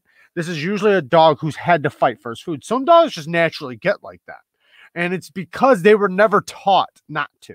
They were never taught that that that I own that and I'm giving that to you. So the dog feels ownership over that. And a lot of times it's because the dog feels like they're alpha or that's the one thing they're alpha of. So that's why while a dog's growing up, you touch their food, touch their food bowl, take it away, give it back. You're not teasing them in any way. You're showing dominance over the food and showing that he's getting it back. He, you mean no threat to that food bowl. You should do that with all puppies, all all dogs. You should do that with and you're just showing him that it's the the food safe, right? However, if the dog's already like that, what you have to do is you do not feed him full bowls of food ever, ever, never feed him full bowls of food because he is once he has a full bowl of food, he owns that food, right? Now he doesn't have any chance of you putting more food in it. So he's instantly going to get into aggressive mode right when he has his bowl. So what you do is you take his bowl, right? He doesn't care about you touching that bowl. Usually, I have seen a Rottweiler one time that didn't like his food bowl touched, unless if he was really hungry. Anyways, my point is, is that what you do is usually they don't care if you touch the food bowl if it's empty. So while it's empty, you take your hand, right? Because at this point, he's not aggressive because there's nothing in it. And you drop just a few in there, literally a mouthful. That's it. And you keep dropping a mouthful in there. That's all you do. Just, just drop a mouthful. And you can do that over. And I know it sounds ridiculous, but we're talking about a saving a dog's life, right? So you just drop a handful in there every 30 seconds, every minute. Make him literally look at you saying, Give me more. Please give me more. Right? You're not just giving him a whole bunch and saying, It's yours. Right? He's literally having to look at you for food. And he's also having to let you get your hand in his bowl. right? Because he wants you to drop food in it. So he's allowing you to get close. And what he learns is that you don't take anything out of that bowl ever. All you ever do is put stuff in it. So now it's a good thing. It does take a while. Like I said, it can take up like up to a year. And this is why they usually don't adopt them out. This is why they usually neutralize them. But over time, you drop a little bit more instead of one handful, two handfuls, three handfuls, four handfuls, till eventually it's a full bowl and you're still dropping food in there because the point is, is that dog gets so used to you putting your hand near his food bowl in a positive way that it only brings something good.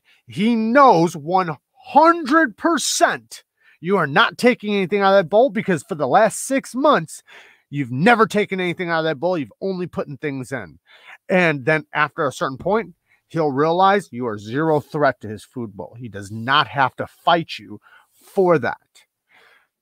That's one thing. So, other aggression, be- aggressive behaviors. Wait, what is the difference between finer and sharper?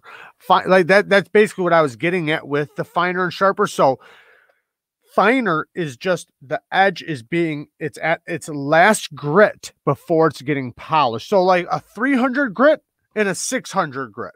A 600 grit is finer than a 300 grit.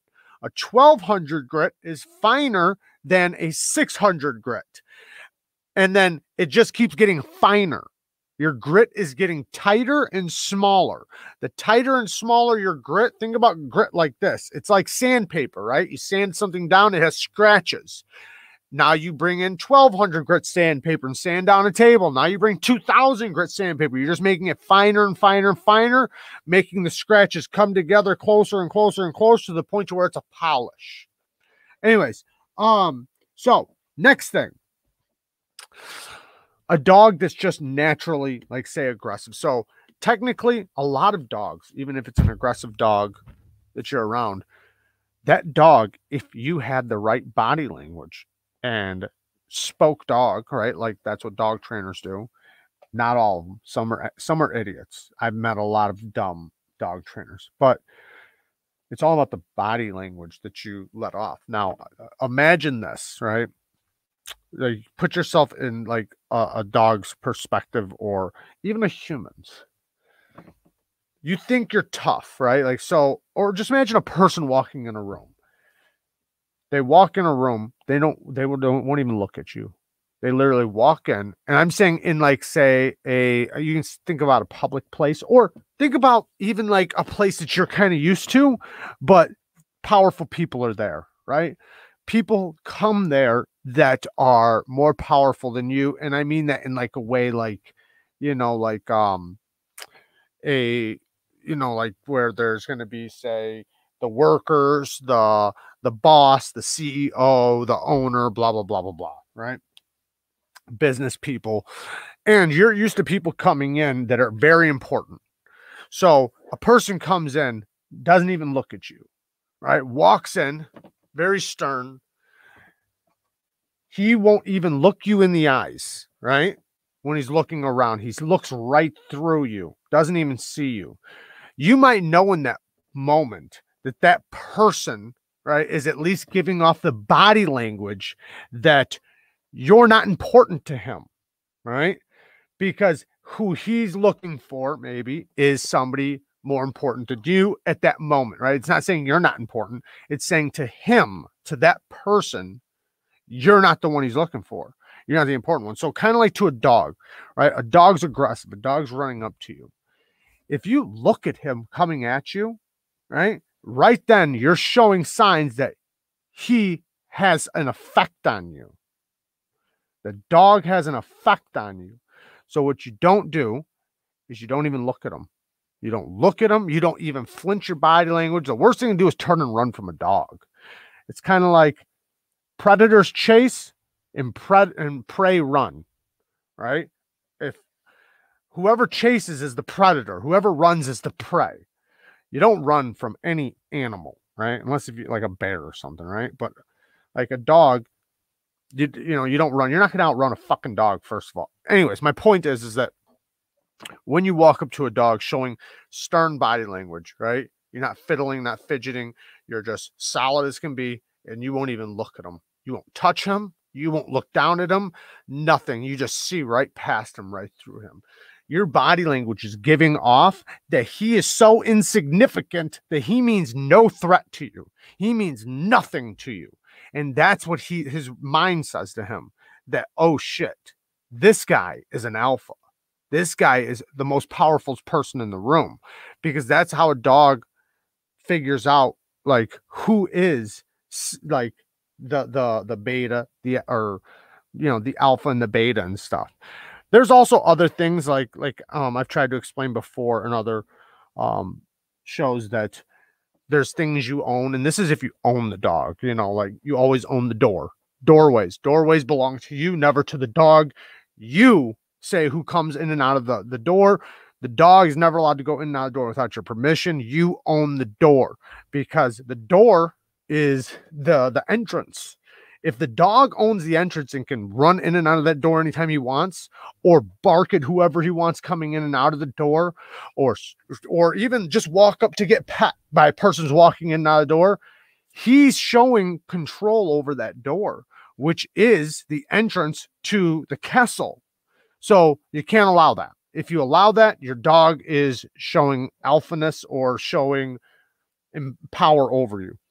Food. You're in control of food. Sex. The only person who has sex in a pack is the alpha. The only time a second in command can get sex is if he sneaks off. Anyways, um, another thing, who sits and sleeps highest? So whoever sits and sleeps the highest is the alpha. The alpha, the king, sits on the throne. Well, same thing in a wolf pack. In a wolf pack, the alpha sits the highest. He eats first, he gets to come and go as he pleases. He says who gets to come and go. He's the one who gets to breed. Same thing with a dog pack, and they understand that language, that body language. So, with an aggressive dog, by owning those things, you will instantly be instantly become alpha. An aggressive dog to to Bob, right, won't be an aggressive dog to Jerry if Jerry's showing the right body language. I'm not saying that like an attack dog that's been trained to bite somebody isn't going to bite the person. I'm not saying that. I'm saying just overall, an, an aggressive dog that's in a household, in a neighborhood, in an area is going to show the aggression over the beta or the the person that's not alpha over him. You know, it's kind of like if you walked into a bar and I, I don't know you, you know, so I don't know what you would do, but most likely, right? Somebody who's walking into a bar with a chip on their shoulder isn't picking the fucking the UFC fighter, right? He's gonna pick the fucking pussy that he thinks he can beat up, not the guy who he knows 100% is gonna drag him. You know what I mean?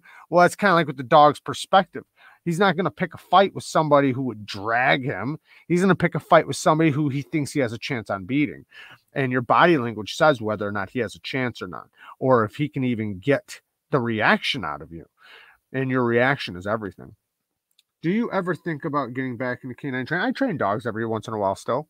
Um, I just uh it's not full time or anything, but uh but I still do. I help people like in the neighborhood and stuff like that if they need help training. And sometimes I see dogs that I can tell need help and I'll, I'll offer it. Uh, because I only want, I, I, I can't, I don't like seeing dogs that, um, that I know are so intelligent and I know that the people are giving off the wrong signals to the dog. They're literally trying, and I know they're trying. I'm not saying it's the people's, I mean, it is the people's fault, but I know they're doing their best, right? They're trying as hard as they can for the moment because they don't know. And if they knew, they wouldn't do that. And a lot of times, actually, every time, they're literally telling the dog to do what it's doing pulling, uh, nipping, um, getting in the garbage, chewing their shoes. They're telling the dog to do the stuff. They just don't realize it. Now they're they're getting upset at the dog, even though they're the ones telling it to do that. And now a great dog that's super intelligent becomes a bad dog because of bad training, because of ignorance. They just don't know. So um, I had no idea you're so passionate about dog training. Do you have another channel for dog stuff? I do not. I actually um almost started one a long time ago. Um but no, I never did. I um I never did. Um, I uh, I've done a lot of dog training, but I never recorded any of it. I, I I've recorded like skits, but I, I've never seriously recorded it. Uh, my mom's senior dog get aggressive. He's a rat terrier mix. If you walk into a room and he's in, he'll he'll get super aggressive, start barking, and lunge at you.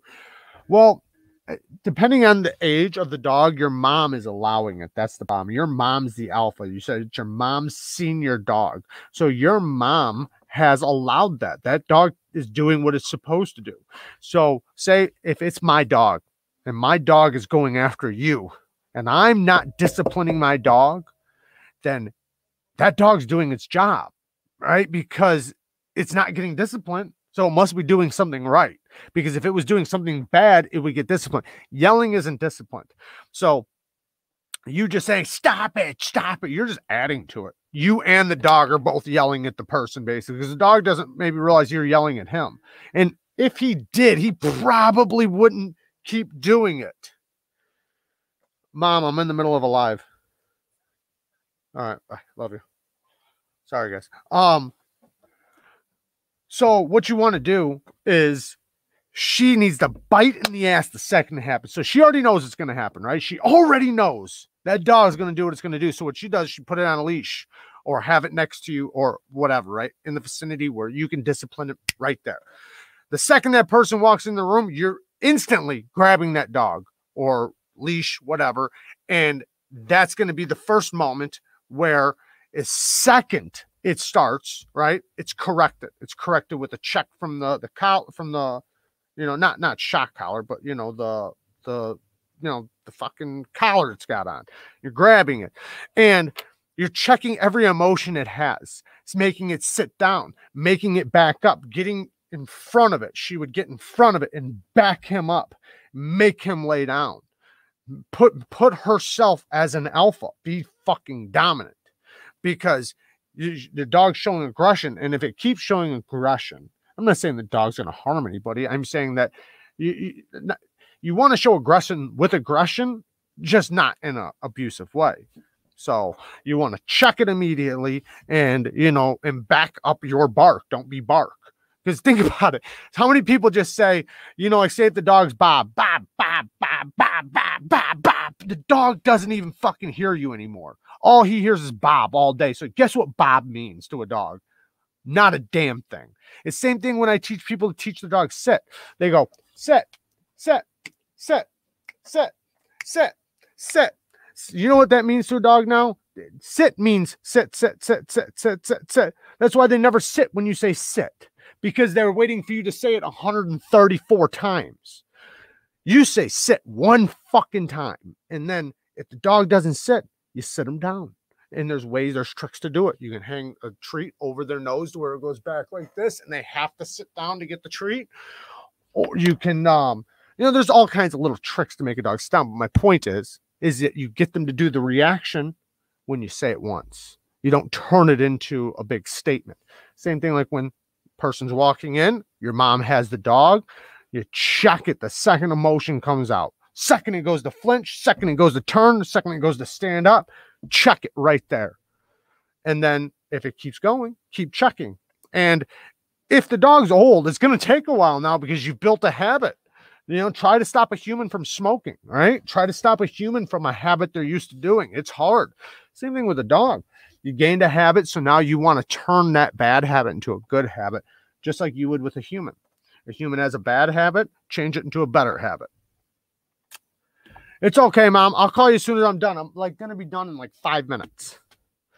Um, I just put the treat in the air and both dogs put their asses to the floor. Yeah, well, most um most commands are actually done with body language. You think they're done with your words. That's where most people mistake training because they think it's like dog. You guys have heard of the dog whisper, right? Dog whispering. The reason why that exists is because the words really don't exist. We think they do because we speak with our mouths. We talk, right? To a dog, he's paying attention to your body language. That's where dog whispering comes in. Is he doesn't have to hear. Like I, I, I told you guys this before that I showed the person I show I taught the dog like ten or fifteen commands. Right, somebody who hired me. Well, then I showed them that I didn't have to say anything at all. I made the dog do every command without saying one word. And all I did was just do the same body language that I do when I say the word. And the dog did it everything perfectly. And I was trying to show them because they kept doing what I was just saying. Like they'd be like, sit, sit, sit, sit, sit. And I was like, stop doing that because the dog is going to think the command is set, set, set, set, set, set, set, instead of sit. And then your body language says it. Obviously, your body language isn't saying it because the dog isn't doing it. The dog would do it if your body language said it because that's what they understand. You know, speaking dog is body language. Hi, Jared. It's okay, mom. I'll I'll I'll I'll call you as soon as I'm done. Uh, I'm in one watch. Um, but yeah, it's uh, it's a lot easier than people think. You have to kind of think about an alien and I've said this to people, and some people have got it after I've said this. So I think it's a good way to to explain it. How would you talk to an alien? If I dropped an alien in your kitchen right now and said you have to communicate with this alien, how would you do it? Because people always tend to think a dog thinks like a human. So they try to communicate with them like a human. Don't. They think like a dog. One, it's good to know how a dog sees the world right? If you know how they see things and how they hear things and how they perceive things, then you get a better perspective on how to teach them. But even if you just put it into the perspective of an alien, right? If you were trying to get an alien to sit, right, you would show them and then like congratulate them when they did it, right? You would give them something or, you know, like you'd do some sort of reward for sitting if you were going to tell them to sit. Same thing with a dog. You you have to get them to do it and then reward them when they do it right. Keep rewarding good behavior. If you keep rewarding good behavior, the dog will only do good behavior. The dog wants to be rewarded. And never discipline a dog that's uh that's not doing a command correctly because you don't want to turn training into discipline. You just don't reward it. Um, it's like the the the plaque placed on the Voyager space probe. I don't know what that means. Better now, thank you. Not gonna lie, it would be badass if you could drop aliens in people's yeah, it would. It would. Um, if Breeze Breeze is telling my mom, like the video, mom. Hey, mom, like my video, please. That's hilarious. That is so funny. Let's talk knives. Okay, so we'll talk about five more minutes of knives and I'm going to get off. Well, I will say one thing though. Hey, I'm pushing that 10K mark, guys. I told you guys, I'm not even worried about 9,000. Right past 9,000, right to 10,000.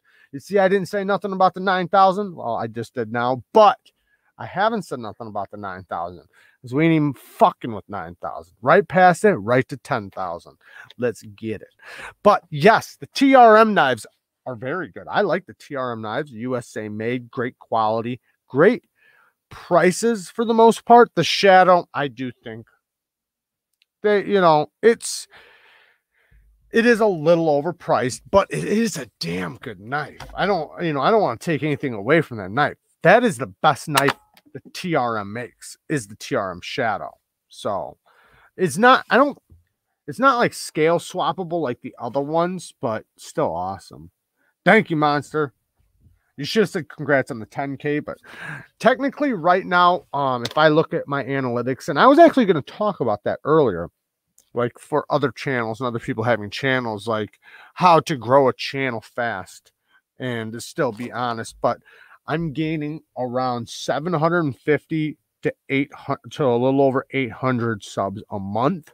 So technically, this time next month, we should be pushing 10k, pushing it.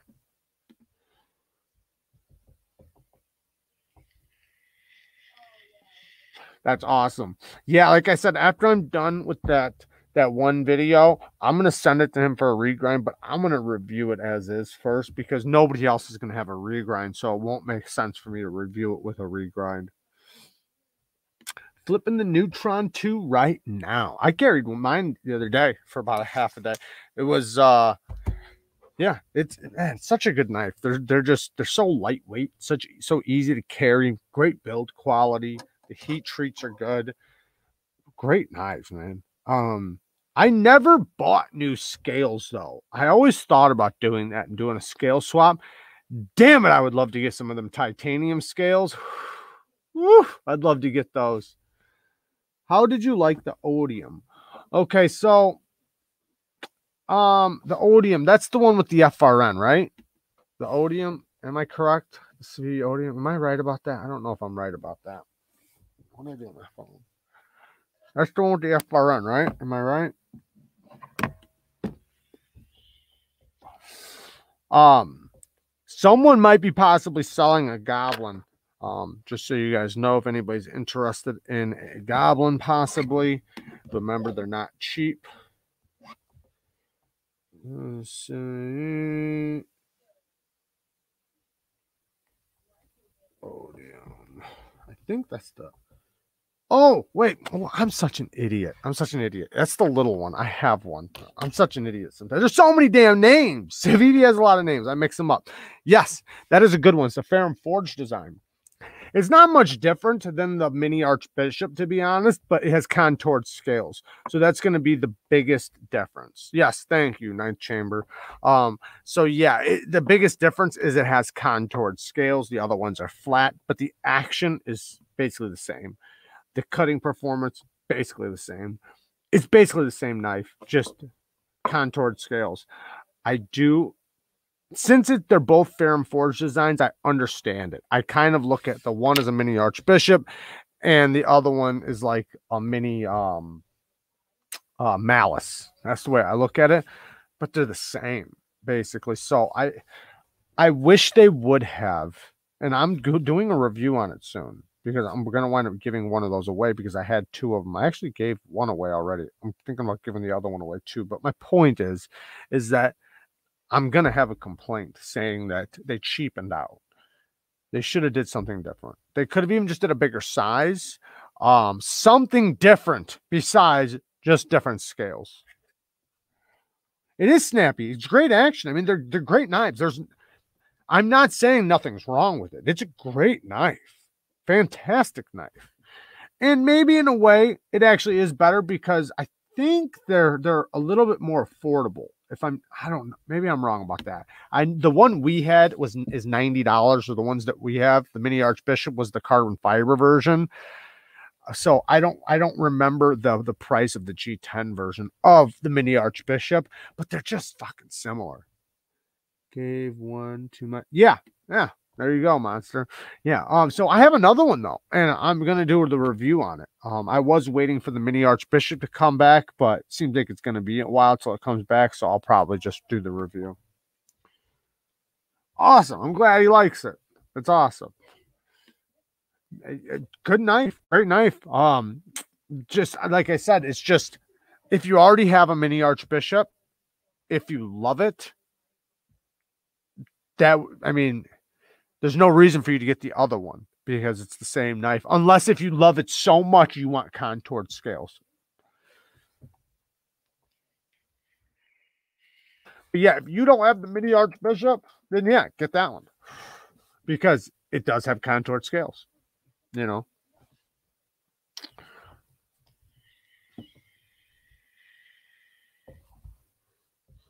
Sixty-two people in here. Um, 104 likes. No dislikes, guys. No, Bree says it's 105, but I'm seeing 104 with no dislikes. That's what I'm talking about, guys. You guys are awesome. Um, I'm gonna close this up, my live book. Um, but I'm gonna close this off with talking about machinery intolerances really quick because that's something I was gonna talk about. Oh, you know what? I was actually gonna talk about um the new channel thing. So let me just say this really quick, and then I'll go to the machinery intolerances because this will be a really quick statement. Oh, the um the AD 20.5 urban legend. Um the AD 20.5 with the shark's foot. I want a nice deep hollow grind on that beach. I think it's gonna be so sweet. Jinx. you owe me a Coke. All right, so the new channel. Um, because I think a lot of people think that it's going to be or they have a perspective of what they think it's going to be. So everyone has been through things, right? Everybody. Everybody's been through issues, deals with shit, whatever the fuck it is, doesn't matter. You can imagine anything in your life where you conquered something and bettered yourself, right? So it's going to be basically about how, and because I'm going to let other people on. Obviously, in the beginning, I'm just going to deal with my own stuff because you don't get people in your lives or get anybody in. You can't even let nobody until you're over a thousand subs. So there's going to be a growth spurt, but at a certain point, I'm going to let other people on, maybe tell some of their stories and the the problems that they had or didn't have, and how they solved them, the way they dealt with them, and um and how they're still dealing with them, right? And whether it's through you know self-improvement exercise uh, whatever right? The point is is just healthy addictions basically healthy addictions um because you could there's so many different things people could talk about that they've went through and how they got through it and what they did and basically to help other people that might be going through similar situations or are just trying to better themselves right? Just trying to make something better because if everybody always should be trying to improve the situation, regardless of what it is. I don't care what you're doing right now. You can say everything's perfect, good. Then this show's for you because it can always be better. And you know, you can deal with situations better. You can have a better temper. You can just be better in life with people, better friendships, better relationships, better with your wife. Uh, better with your dog, right? Whatever. But um, and then also some entertaining stories and humor mixed in twinkled in. So that's what the new channel is going to be about. And like I said, I'm going to start it probably after the 9th because I'll have the, the surgery done and everything, or at least uh, finished. So, um, but yeah, we'll see how it goes. So now, machinery and tolerances. And I, I kind of got this from Stasa 23 the other day. He was talking about how he's always been interested in like damn it.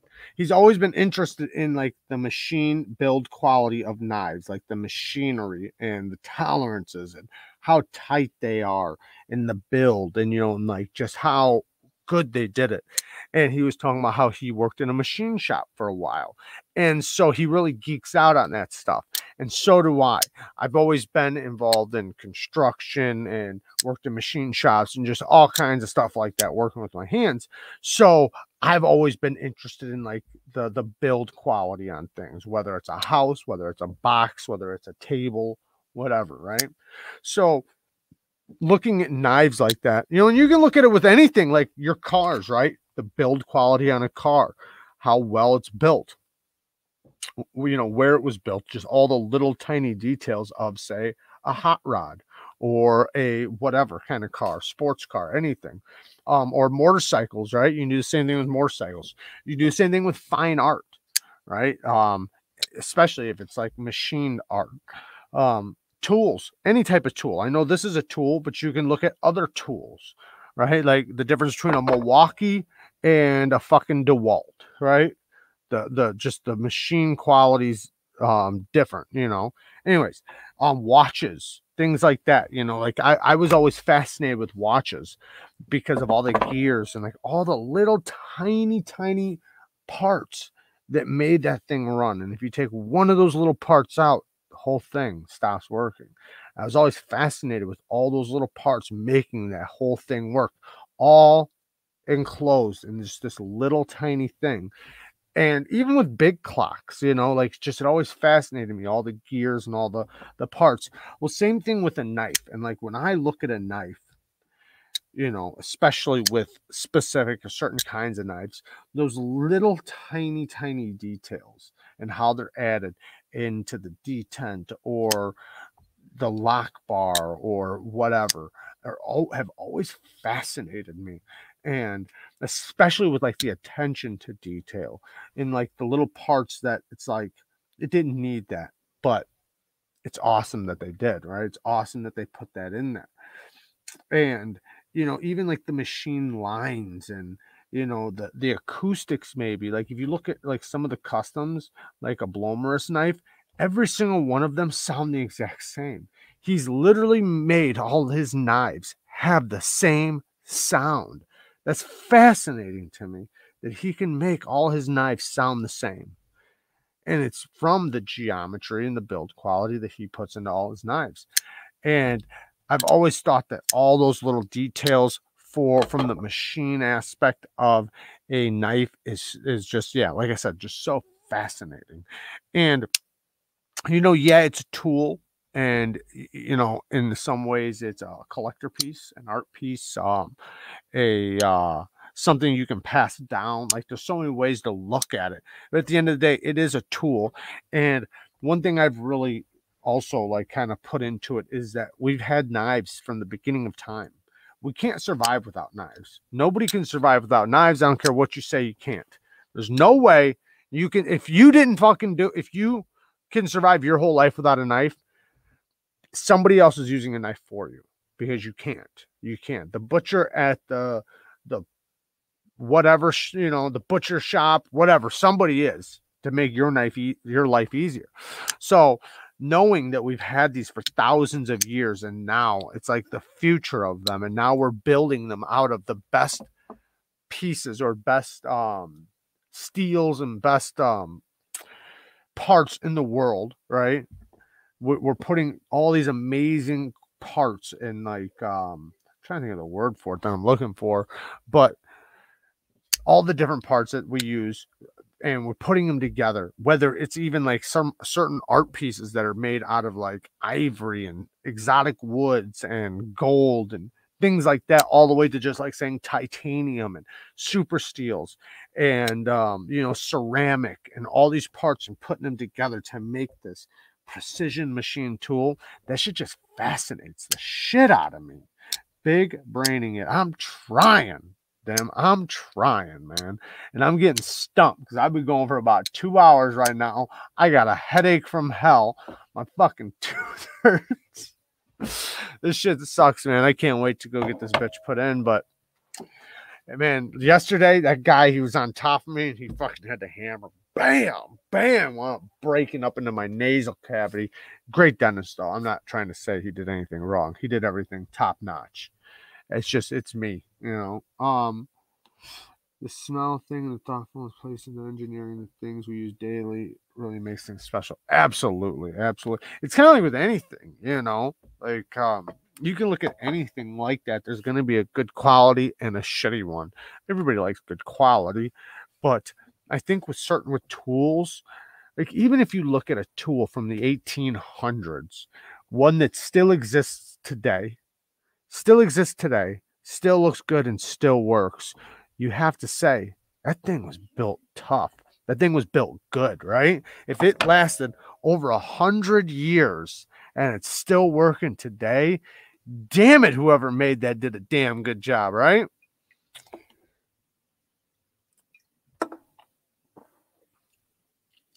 I don't know. I don't think I oh I can tell you why because they shatter. When you when you tighten the pivot once they crush it shatter. Ceramic's very fragile. It's hard but it's not tough. So that's why. It's very hard and in a, in a sphere they're very strong but in a flat plate they're fragile as the plate in your kitchen. You drop it it'll just shatter. If put pressure on it it'll just shatter. In a sphere it's different but yep, there you guys go. There you go. Brittle as hell. All right, guys. I love you guys. Thank you guys for hanging out with me. We've been going for two hours and 17 minutes with a hundred and let's see how many likes we got. 109 likes. You guys are amazing. 67 people still in here. Thank you for the donations. Thank you guys for hanging out with me. Ceramic coefficient of friction is also higher than bronze or Teflon. Bang. Um, I love you guys watching, Joe. Thank you guys. You guys are amazing. 110 now. We're getting 10,000 fast, guys. We're going to get to 10,000 in no time. I can't wait either because right after 10,000, we're just getting right to 15. fuck it, right to 15 because I know I've said this a lot, guys. I am trying to make this a business. I am trying to start another channel, not a knife channel, but another channel. And um, I'm hoping both of them together could be successful. And this one, I only want the best for it. And I'm not going to stop as long as YouTube doesn't stop me. But also, you know, with other things, I would love to design a knife in the future. I would love to make knives. I would love to have a machine shop. But before all that, I want just a good quality channel. I sharpen knives. If you guys ever need knives sharpened, you guys can hit me up on Instagram under Neeves Knives or hit me up through email. I think my tooth just started bleeding. So I'm going to get out of here. Love you guys. Peace.